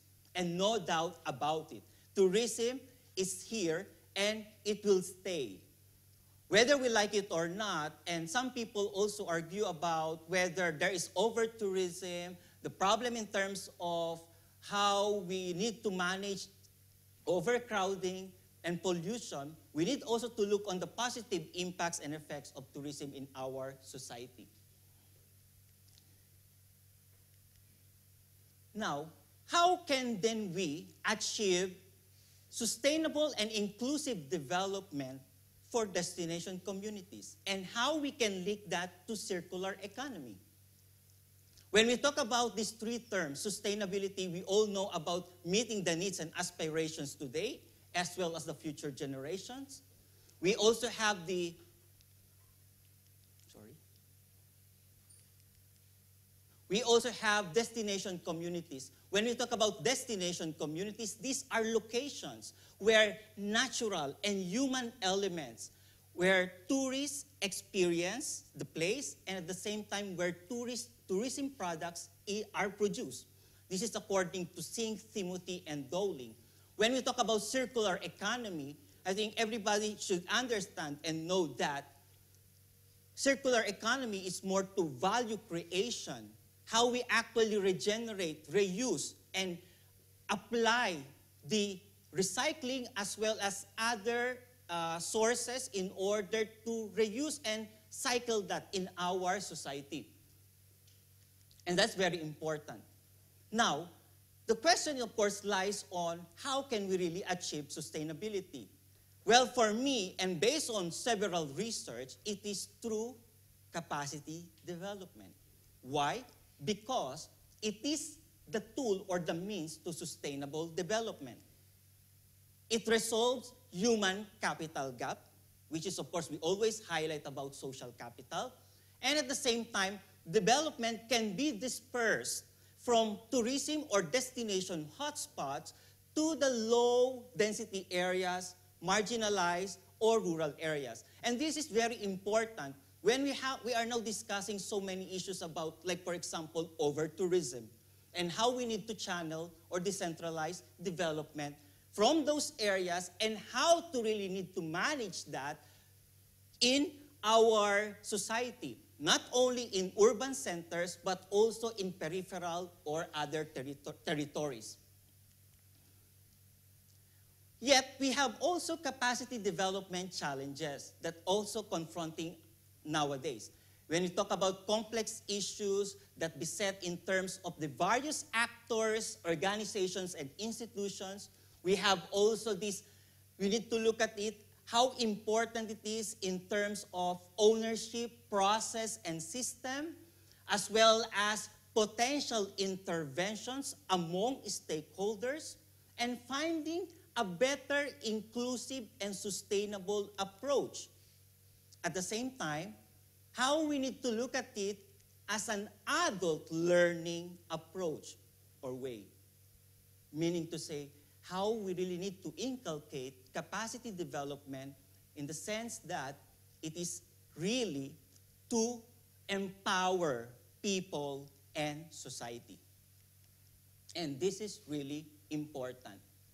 Now, let me share you about these brief preliminary results of my study. It is, of course, of, in my interest, at the same time, the research that I am conducting right now about capacity development in tourism. It is more of the approach is pragmatic, wherein no particular or one system of uh, philosophy or reality.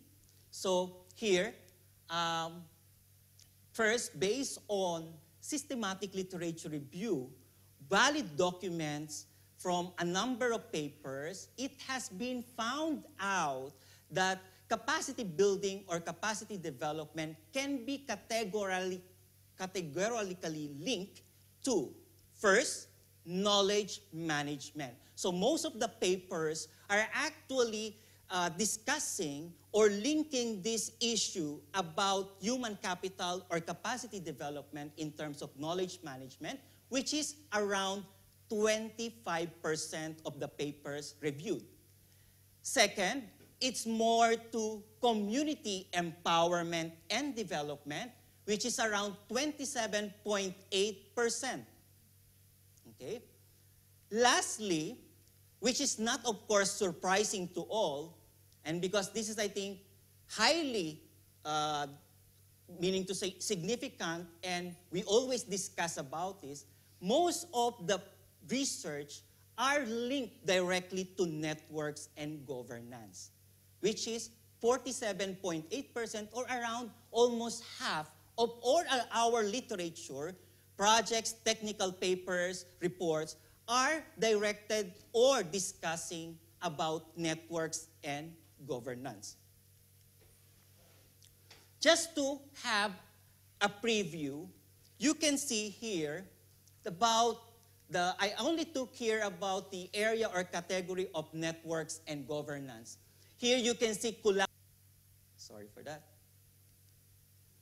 Here you can see that 79% I think that is really understandable and logical because capacity development mostly for to develop capacity of people in this but but it doesn't necessarily mean that it's only applicable to less developed or developing countries. These are also required in the developed world because even in our societies, in the global north, we still have this necessity to really develop and empower people in some of our communities, even in Portugal. In addition, I would like also to share some of the experiences I had through immersion and participant observation. So first, capacity development in Ethiopia. Here, the picture here shows about it's more of tourism education training where we had this capacity building for tourism program in one university and then later on disperse or frame for the development of curriculum in the whole country for tourism program. Okay? So this, that is the first photo. The second one is more to the tour guide training. The tour guide training is all about professionalizing the tour guide operation and businesses in Ethiopia. Just to inform you that during the time when I was there, we were the first batch of expatriates as well as capacity developers and builders, educators, in terms in, in the field of tourism. So after such, as we have already formed and provided education to some of the locals, they have continued that to other universities in the country. The same with goes with the last picture there. It's all about event management program, a formal and informal training where they are uh, to be trained like professional event management organizers. And at the same time, they have also developed or this, uh, transferred the knowledge to other areas in Ethiopia. Here, we have capacity development in Oman. This is in Misfat al Abriin, which is quite uh, not so far from Muscat, the capital. This represents about transforming idle properties into useful tourism assets. It's, it's, it's not only in Oman, there are also other places where I have observed, and most of us, that there are some facilities or resources that are not utilized. And this is a good example where it has been there unused for quite a long time under the Ministry of Tourism, and a local community embraced and started a project out of it by converting this facility of a heritage house into a really operational heritage uh, uh, house and visitor center, at the same time a trekking center, run by a local community group of 40 members, and especially the women are part also because in uh, a different in the context of culture women needs also participation. But in the muslim world it's quite different. But here they have really that kind of participation to that local community project where they prepare the food and sell to the tourists. At the same time they make the souvenirs for the tourists so this is quite outstanding in the sense that it's not a big project, but it's actually turned into something that the community has benefited from. So it has a, a duration of five years from 2016 to 2021 and subject for renewal under the Ministry of Tourism of Oman. The next one is the capacity development in Portugal. This is more of a multidisciplinary approach uh, capacity building program towards geoparks, sustainable regional development, and healthy lifestyle. So it's more of interdisciplinary wherein private sector, public, as well as individuals, managers can participate in order to broaden and apply techniques in terms of effective management strategies towards environment, natural and cultural heritage, as well as healthy living. And this happened last year, July in 2018. Now, when I talk about all of this, and we had the discussion on the first session about so many things when we talk about digital trends and circular economy, I think everybody will agree that the solution to our problems now, whatever it is, either in the aspect of different sector, technology, artificial intelligence, over tourism, etc., it's all about human capital. People is the answer or the key. And it is only through that, by developing the capacity of people, that we can resolve or solve problems. Yet, in this context, I would like to highlight four points that are quite important when we really apply techniques or methods approach in a destination or a society or a place. First, governance or structure, policies. These are very important. We always keep on talking because, as have explained earlier, the situation on the West and the global North totally different from the global South. And I can attest to that. I'm also from the, the Far East, or officially from the Far East. Then you can see the kind of difference. Even when you go to the Middle East and Africa, it's totally different.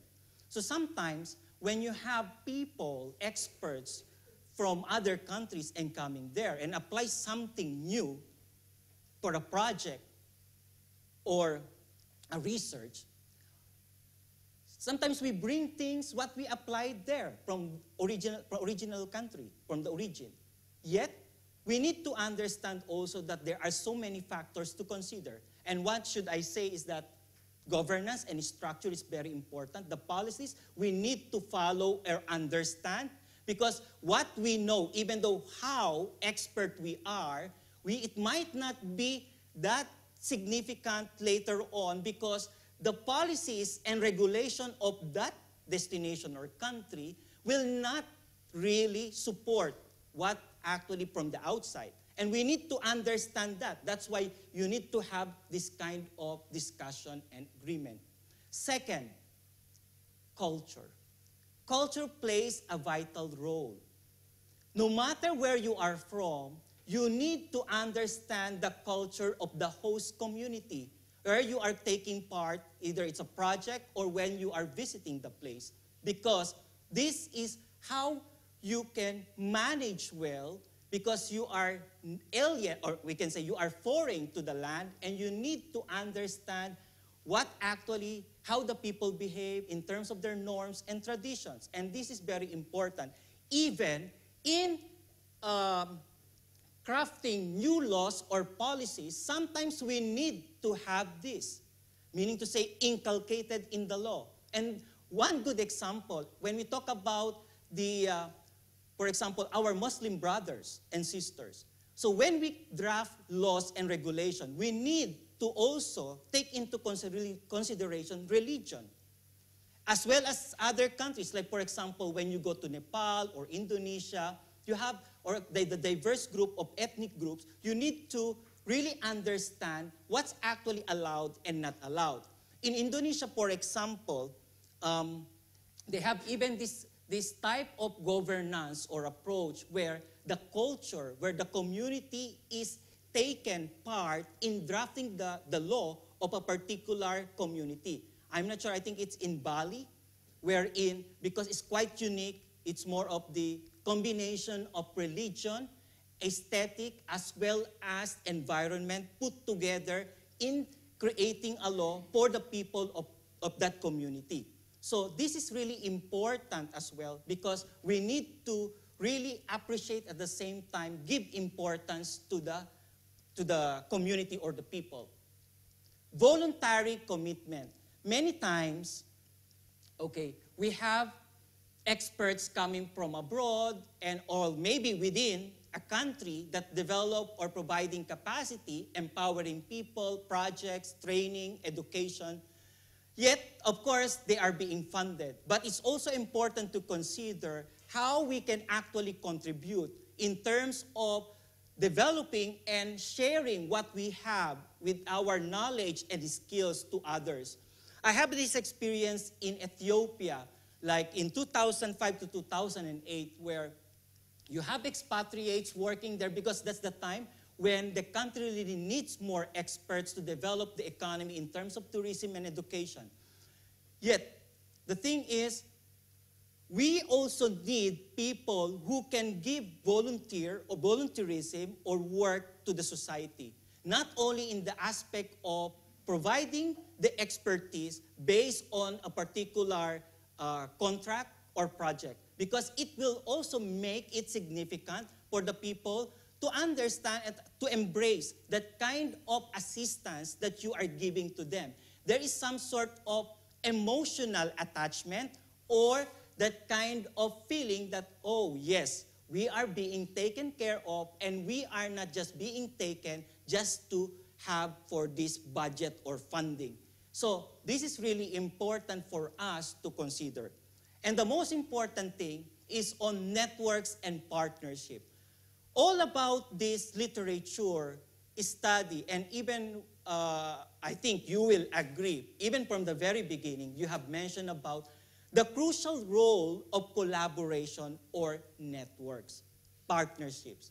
I think everywhere, not only in tourism, whether in uh, econ economics or other fields, it's really important to have this because through networks or partnerships, we can build success and momentum towards sustainability. Okay? Collaborative management and even the participation of different stakeholders are really important.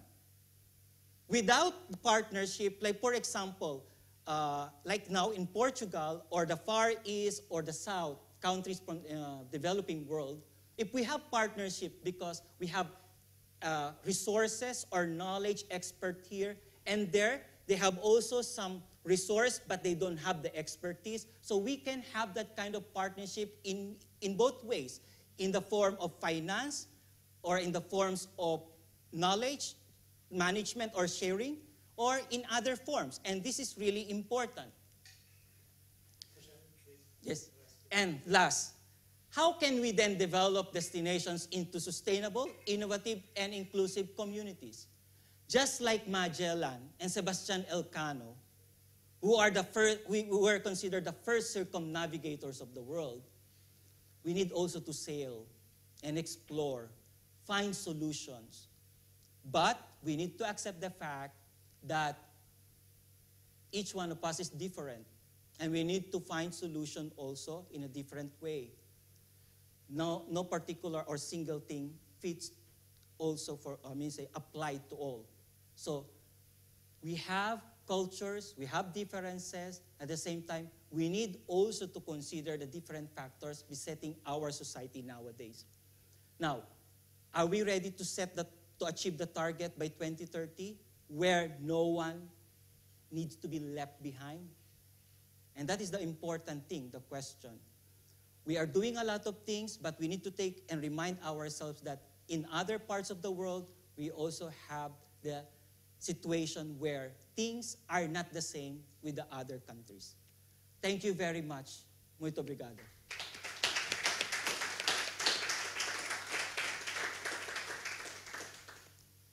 Thank you, Rogelio. Now I would like to call again our speakers of this second panel so that we can answer some of the questions that may come from the public or from the online audience. Please join me here on the. You say that? Okay. I wish to have other.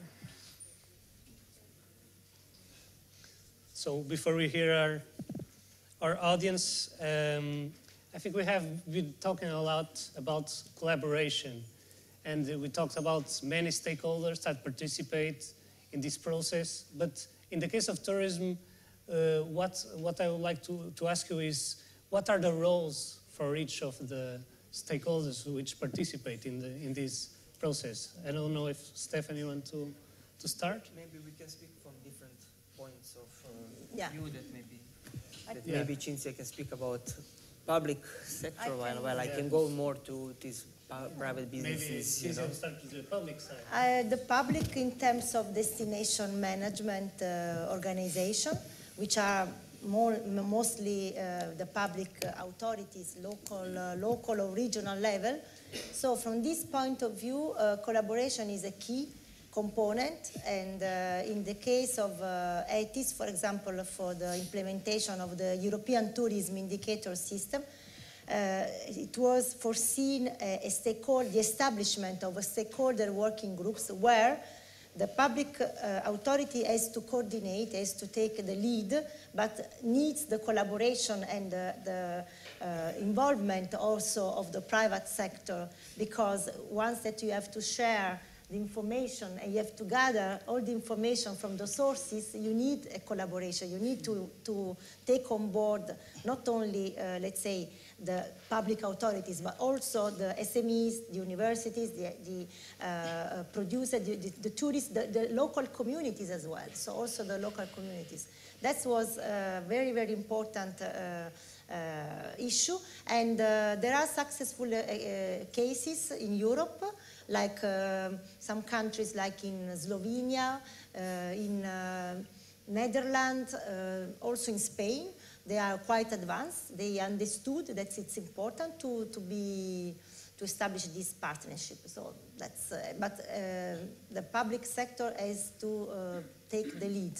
That was, for me, that's also, uh, it's the most important thing. As he said before, um, the governance, the structure is the pillar. So the legislation is, is as well, uh, is the, the, the main component. And then, and then we have to be uh, aligned to this. So at what, what would levels. be the recommendation that we should give for the engagement of, uh, for instance, we have uh, SMEs which work with iTour, uh, which are the main part of iTour and, uh, and in the economy in Portugal, for instance. What, what would be their action? What will be their engagement in these, in these issues? Or how should they address this? Well, for example, there, uh, there was an interesting case which as well Professor Buhalis mentioned about delivering the information between different bodies and these maps of, of the movement in, the, in a destination or, or the case of, of taxis and, and cruises. You know, so it is the case when there is no collaboration, but they need to understand you know, that better goals or more productive or more efficient management will be established through, the, through a collaboration. Secondly, I believe that all of them have different type of, of, uh, of responsibility. Where, for example, more and more tourists are uh, looking for uh, companies who are transparent, who, who publish uh, information as, as it is, or where they mention impact, such as, for example, uh, there are booking platforms like BookDifferent, who uh, put you on the website the carbon footprint that you make if you stay in a certain hotel, or that there are uh, many uh, tour operators who uh, create their own foundations supporting local projects which are later on parts of their itineraries.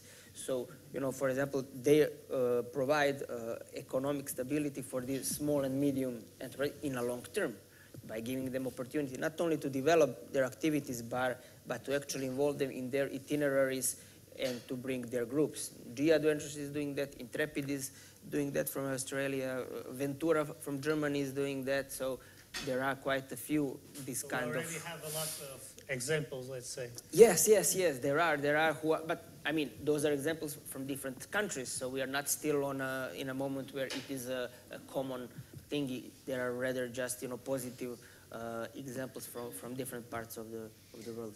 And so, and maybe Rogelio, we can have also your view regarding this, because we are talking about these topics, and it's mainly like the demand side, which is demanding these, yeah. these kinds of, of, uh, of the development from the, from the companies. What, what do you think about uh, this topic? Okay, to tell you honestly, because of the previous experience, it's quite difficult to, to really form or to meet. But I think one thing is for sure, you need to have that kind of uh, organizations or individuals who are proactive at the same time they have that initiative to do it. Because sometimes, as what uh, Cinzia said, is on the, from the public sector side, that they need to start in order to really do something for the community or about uh, collaboration.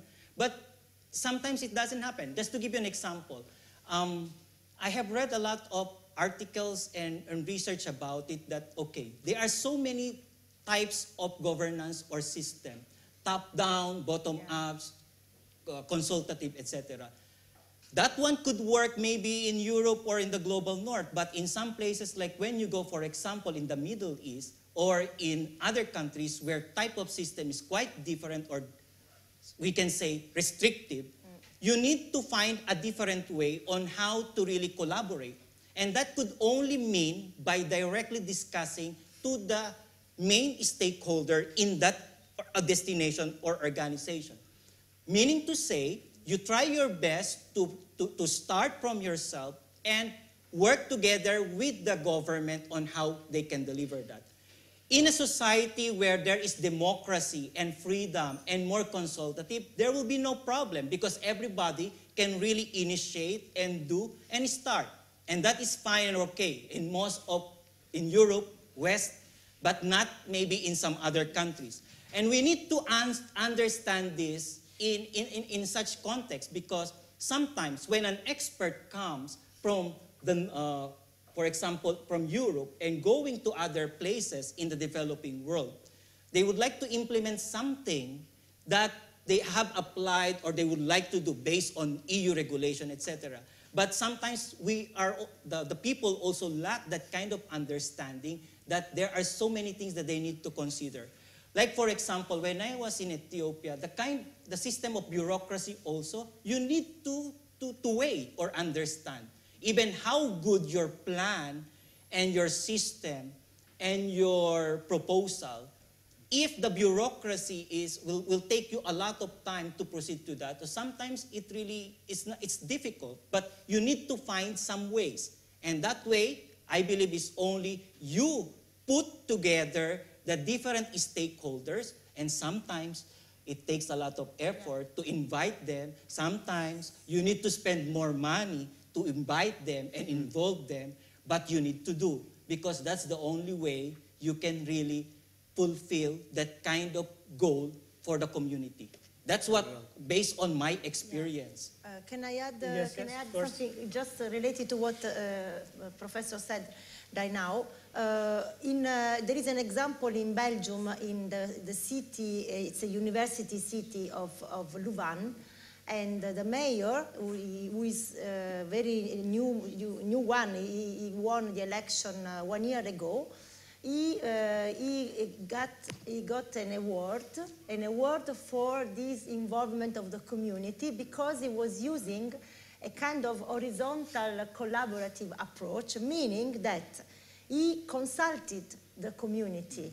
First of all, he set up three priorities. He said, we want to achieve those goals. We want to become free car city, meaning that uh, all the all town must be for cycle, only for cycle, and also pedestrian, no car, no car.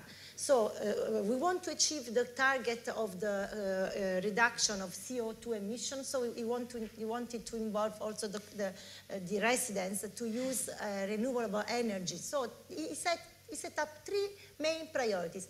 Consulting the people took time, took time, but two years later, so now he's in the way of uh, the dynamic process, but he said that uh, the, the community, the response of the community was very, very But high. Was, was that a, prior consultation to the decision? Yes, or it was after? No, no, it was the, cons- the, the, the, mayor engaged all the people, private and public also institution, meaning university students, uh, museums, everybody, every type of stakeholders. But the process was consultation, listening to, and also taking on board the, the, the, the let's say, the input, and, and then the, uh, sharing the goals. That was a, a common process, and they achieved the goal. They, they were, they've been awarded as a sustainable city in Belgium from the region, uh, from the, the national level, because they are de- demonstrating that in, with this approach, capacity building also uh, uh, process,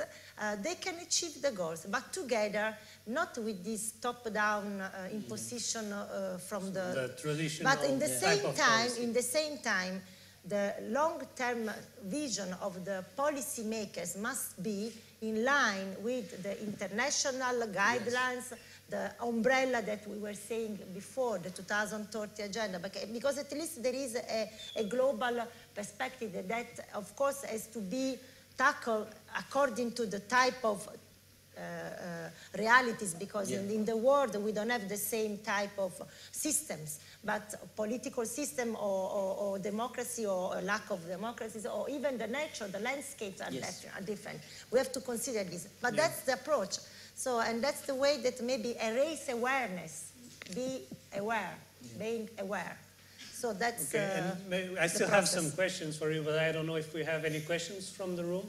If, if you have, you may do them now.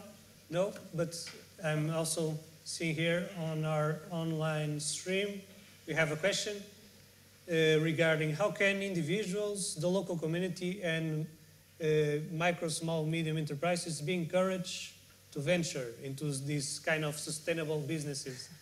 uh, and, uh, and uh, the confrontation with the multinational companies also.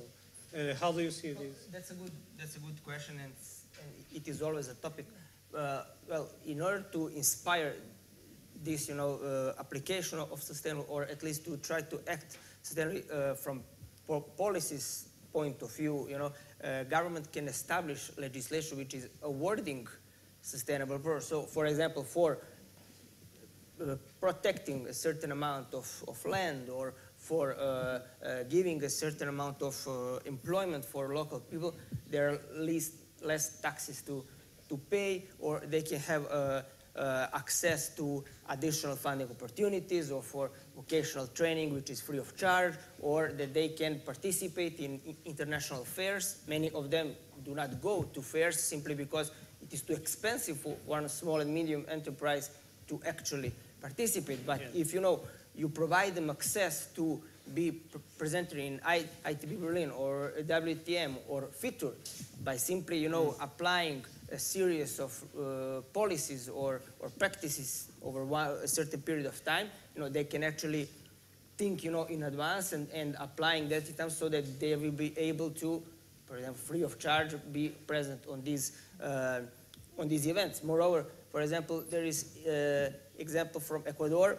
Uh, Ministry of Tourism uh, established collaboration with TourCert, which is one of uh, certifications. Mm -hmm. And uh, so they provided 50% help to every uh, enterprise who wanted to cer certify their business with this certification. So many hotels, tour operators applied. But small businesses? Yes, small. Uh, it's not we, we only to the main no, chains? No, we have visited Ecolodge, which in total has five people working there, of which one is the, the family, so uh, husband and a wife, and there are three other people. So, and it, they have maybe seven lodges in total. It's quite small initiative, right? It mm -hmm. is, it, it, goes in the ca category of a, of a, small hotel, you know, uh, boutique. And they received 50% help from Ministry of Tourism in order to receive this certification. Mm -hmm. And they told us it helps us a lot. Not but maybe. afterwards, it was being taking that choice to, to that path it, it's still uh, rentable. It's something that uh, they have seen value in it. Yeah, uh, they they seen value from inside point of view. They said it helped us amazingly to uh, organize our businesses to be more productive, more efficient, to decrease costs, to use other source uh, technologies or tools. Mm -hmm. Maybe it didn't bring more clients because no, nobody is calling a hotel saying, I want to book stay because you are certified. No, but tour operator one major tour will probably uh, uh, take you as a partner if they see that you are certified. So, okay. you know, they, they, they told us honestly, it helped us greatly inside, but, you know, we didn't receive any client who specifically came because of that. Okay. Uh, Rogério, I don't know if you want to I think uh, when we would like to encourage MSMEs, it's more of how the, first, of course, the public sector, the government is very important, their role how they really need to make plans on encouraging the local people and soon to be entrepreneurs to have this type of business. And that's very important. Another thing is the academic institutions. Um, we, uh, in, the previous, in previous years, I have attended several uh, forum or conferences in terms of SMEs and entrepreneurship. One thing is for sure that we need to have entrepreneurship courses or programs inculcated in our curriculum or curricula. And that is very important because either way, from the government side, they need to initiate, but the uh, academic side, they need also to do that in because they have that kind of access to educate the young minds. And only through that also that these people can be encouraged.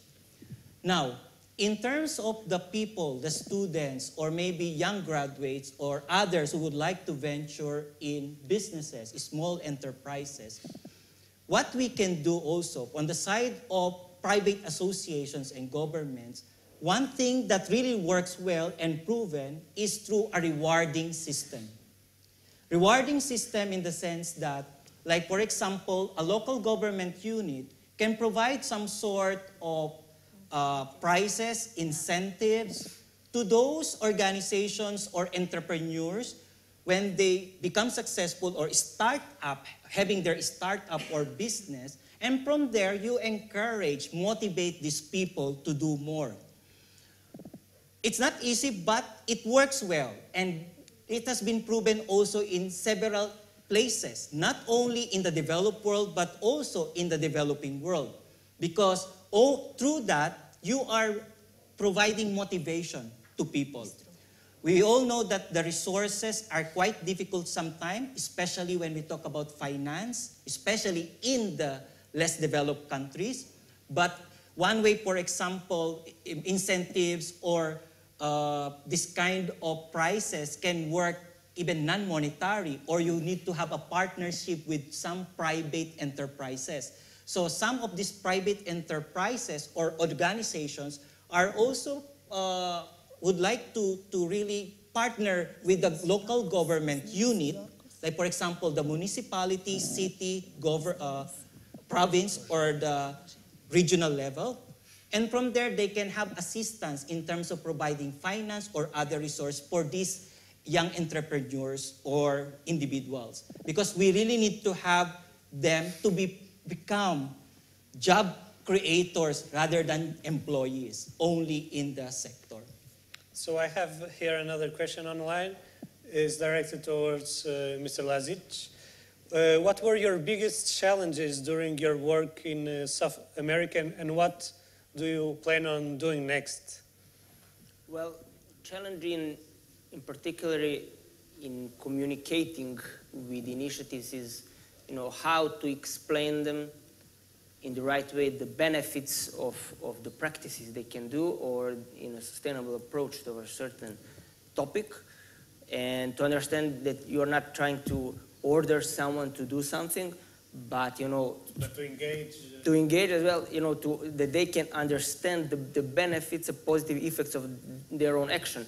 Because it is not uh, so it's, it's also a matter of communication yes it's no a, it's communication is crucial yeah because you cannot just say to someone you know you need to do this you know or stop doing a certain thing in order to to have this positive effect but to explain you know why is it important to do it and how in a long term it can be um, beneficial as well. Uh, cultural differences as well as, as Rogelio mentioned, it's quite important to understand the local environment, the, the, the tradition, heritage, you know, going, for example, to, to Colombia, with, uh, who suffered you know, for uh, 30 or 40 years of, of internal uh, armed conflict. You know, it, it, it is important that you know it be, before going there and knowing how to adapt to a, to a, to a situation. So challenge is, of course, to understand how to, to communicate in the best way with, uh, with them. Yeah, I, I will have uh, here a last question and maybe uh, to Cinzia, then you, you can all share your views regarding, because we are talking here about future trends, maybe what would be your bets on uh, circular businesses related to tourism? If you have to choose some actions or type of, uh, of business, what's, what would be your bets? Uh, from which point of view? The point of view of the private sector or, or the, of the yeah, because it's always it's very important to have in mind what from what perspective we have to yeah from the private sector yeah. from the private sector. Uh, first of all, uh, I would like to add what uh, before uh, Roger, said about the importance of uh, involvement also of the association of SMEs or I'm, I'm, thinking about the chambers of commerce, for example. So it, it, this, this uh, um, collaboration, this partnership is fundamental to achieve the results. Therefore, the SMEs uh, in, in, this uh, process of circular economy implementation to be aware about the benefits, they should uh, establish more collaboration and partnership with the chambers of commerce because they can provide public incentives. They can uh, somehow they can motivate more the uh, SMEs to be uh, fully committed and not because only because it's on voluntary basis process. Of course, they must be. that's the only way to be uh, today to be not green SMEs, but to be really in line with the priorities of, of the challenges that we have to uh, uh, fulfill. Therefore, uh, I see more uh, the importance of this process of partnership between the SMEs and uh, a better, more relation between the, the, chambers of commerce or other associations representing the SMEs and the work, the daily base work of the SMEs in terms of improving their services, uh, the quality of their services, the to become more sustainable, and being aware about what circular economy means, reuse, recycle. So what are the, the, the, the, the focus? Uh, waste, uh, food management, uh, production, of the electricity, the water consumption. So all these uh, uh, achievements, they, not, they do not need the, the label. Maybe the certification is just the last thing, it's the process that you have to take in, into account. They're more than the certification, the last, because some SMEs thinking about, for example, eco-label or EMAS, uh, they think more bothered. They, they, they feel that, ah, I'm, I'm bothered for this, all these uh, uh, procedures because I have to invest my money and then I don't see uh, the, the number of uh, consumers uh, increasing because of this. So maybe uh, not just focus on the last step of the achieving the, the label, reviewing the whole but process. reviewing the process and, and, and, changing the, the daily basis, like the, the, uh, the hotel, uh, Martin's hotel chain is doing uh, uh, in, in, in, the overall picture. So that's, mm -hmm. the, that's the circular economy. Uh, it's having in mind that the overall process of the value chain. It's knowing from, better your business and then knowing understanding better what... from where you start and where you want to arrive, but take into account all these steps. Okay. And then, I of course, if, uh, I guess we are very, very complementary in this. I was having just a thought because our topic about circular economy, and of course, celebrating the 500 years of Magellan's navigation. When uh, Ferdinand Magellan sailed and discovered the Far East, looking for the Spice Islands. Well, I think he, for, for himself, he discovered that totally different world, a new world. And I think that's the reality that what we are doing right now here in our place is totally also different from other side of the world. We, it's true that we follow the, the, the primary uh, law in terms of all of this. Like, for example, the UN Agenda for 2030 is very crucial because all member countries signed and need to abide with that. Yet, some countries are far more advanced and some are quite middle and others are left behind, some somewhat trailing. And this we need to consider. The digital, digitalization, artificial intelligence really work well in major economies, industrial economies, because they have all the infrastructure and superstructure to support this development. While those countries, LDCs least developing or trailing, we need to really support them more because uh, I think they have discussed earlier about Africa that moving from uh, 3G to 5G, the kind of infrastructure, well, when it's good, but it's not only about this kind of amenities or services. There are other services or infrastructure that are most important in other communities. Like for example, some other communities, they don't even have that access to water. Okay? Some other communities, they don't have even that uh, job, meaning to say that the people. So you need to support first these basic priorities, and I believe other things will follow if you provide these basic services. Mm. In the case of tourism, tourism already provided several proof that impact the in terms of either economic, social, cultural to the community. And that's how we also embrace tourism to these communities. How we involve circular economy principles, like for example, if you are a traveler from Europe and you're going to Africa, well, first of course, we need to research and what actually is all about the destination that we're going to. We don't expect the same kind of conveniences if you are from Portugal or other countries from Europe. Second, if we really like to embrace and achieve at least the target of SDG, we need to look and consider like how to use more fuel efficient airplanes when we travel. Travel light. These are some examples. And at the same time, you need, uh, this is a very good example. When you visit a place, buy things made by the local people. And that is very important. Especially in this times of globalized, open uh, trade liberalization, and we have products, souvenirs of Portugal made from another country, I don't think that that helped much to support our local community here. So we need to buy local, support local, in order to boost also our community. Yes. Because only Which is in line with the circular and economy that, principles that is also. the this is the most important factor. So from the from the local people and outsiders, we need to understand this that it's not only you are not only having that kind of uh, meaning to say prestige or something from that place, but you are helping more the people at the same time the local economy. Another example is on unused facilities. Many times, even in the developed world, we have a lot of properties, utilities, or facilities that are left unused or unutilized. It's a time to we really need to think about to utilize that because we can convert them, we can use that. One example I have given in Oman, it's been it's like uh, being constructed for more than 10 years and nothing happened. But because of the initiative, bottom-up approach from the local people, yes, because they actually the story of that local community, they learned it from one person who have a tourism background. Because of the knowledge and education of one, he created change to the local people that we can do something out of nothing from this place. So these are the kind of simple things that we can do.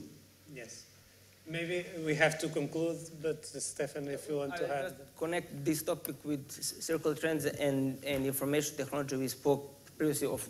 I believe that probably uh, one of the crucial roles in, in future circular trends will, will play both artificial intelligence we, we spoke and the use of technology, how to adapt the machines or uh, productive processes in order to be more efficient, to function better, and to, uh, to decrease the cost instead of creating machines which are disposed after a certain amount of times. We are making them more efficient, just uh, change the parts which are not functioning, uh, to use technology for more re renewable sources, uh, as well as, as Cinzia spoke about Martin's hotels. There are more other European hotels adapting to this, so using technology to create these uh, resources which can actually uh, establish more efficient and more productive processes, uh, which Rogelio mentioned the, use of uh, abandoned places. There is the concept of uh, alberghi diffusi or uh, di diffused hotels, which is now existing for last 25 or 30 years,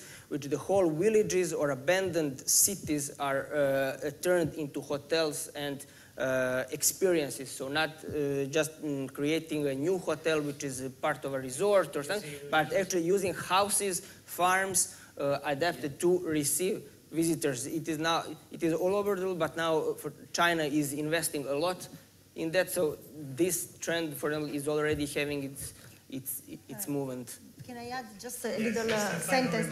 Yeah, no, just because we, we are thinking about trends, future trends, but if we uh, think about circular economy, it's something very old. It's coming from our grandparents. It's something that it's related to our historical background because in the past, because we don't have, we didn't have the means to, to, to eat or to, to, to, to, to satisfy our needs. So it was necessary to reuse uh, everything we were using for. And, Therefore, yes. what is new, what is new is the combination with the technologies and innovation.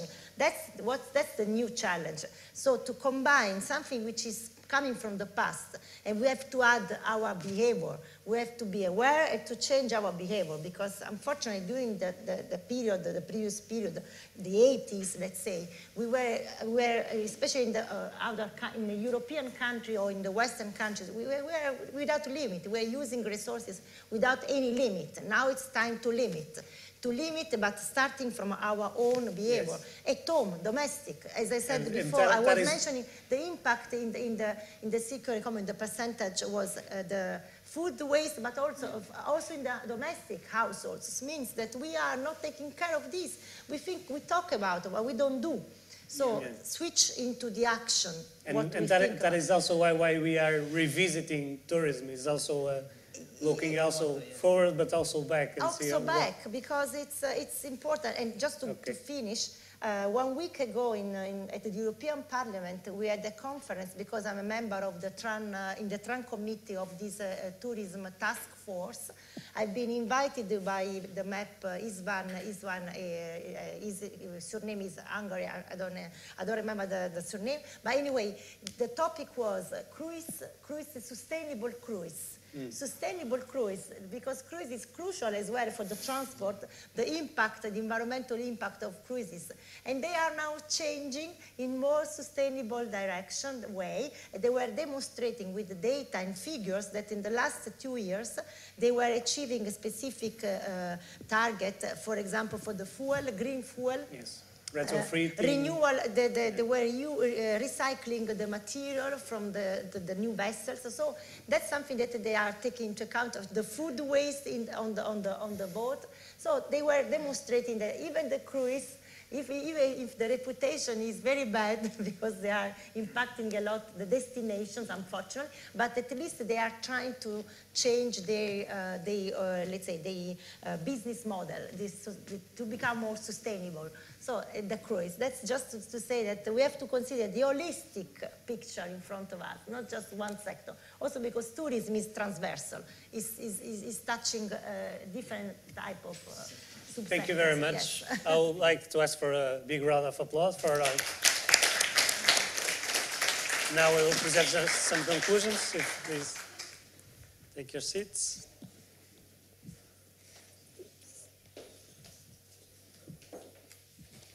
So I'll just summarize very quickly some of the ideas that we have talked about today.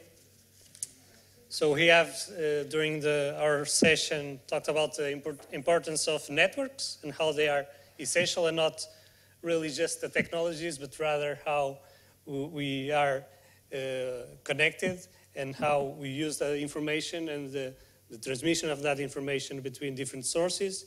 We have talked about time factors and the nowness and the demands from the, from the, the consumers and the tourists who want to be satisfied immediately. Um, we have talked about uh, new solutions which are already in place and are not just fiction or something that we have uh, in a creative way thought about, but rather very specific examples like in the photos from Professor Dimitrios and Professor Stanislav with those kinds of solutions that I have seen in close hand. We have uh, talked about how RAISA um, can, uh, can enhance the capacities which of the activities which are made by other people and how they substitute us, but they substitute um, uh, specific tasks, let's say, not, not necessarily substituting our jobs, but rather uh, some tasks are more relevant to be done by these new technologies. Uh, regarding the second panel, we have also talked about links between the tourism and the circular economy. We have shown uh, various examples uh, from different geographies also. Uh, we have seen that food waste is one, uh, maybe a clue of uh, an area in which uh, tourism can really evolve and have an impact regarding what are, which is also a priority for the Commission, the European Commission regarding the circular economy. Uh, we have seen that there is a strong connection with the Sustainable Development Goals, and we have like uh, at least some compromise, international compromise regarding those topics. Those topics. And we have seen that the education and training and the capacity development is a key for the change in the, in the tourism sector. Uh, and now I would like to ask uh, Luis Marques, which is uh, president of AETUR, to have some, just some last words.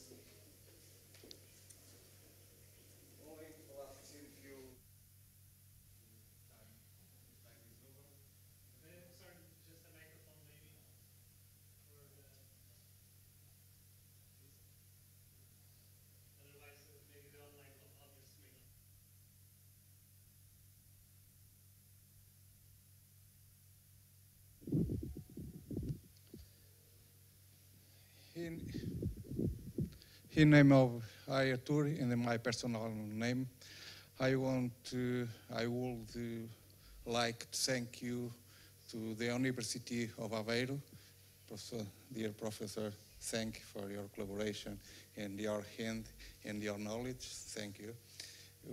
We are, I want also say thank you to our partners in the person of Hugo. University of Aveiro, great thank for hosting this event, and uh, a big, a big uh, thank you to the speakers that come from far to share with, uh, with us their knowledge in a way, exceptional way. And of course, to all who attended in person or online. See you next time and hope you have found this event very grateful. Thank you and see you again.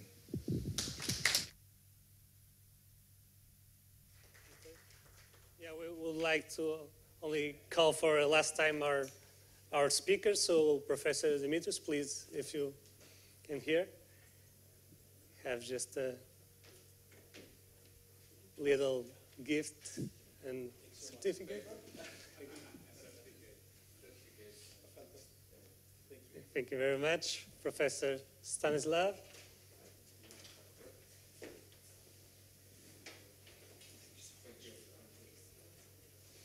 Cinzia, please. Professor Diogo will receive the through Professor Carlos because he had to, to leave the room.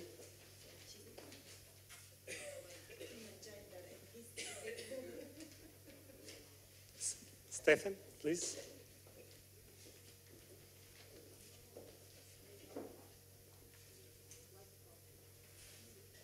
And Rogelio.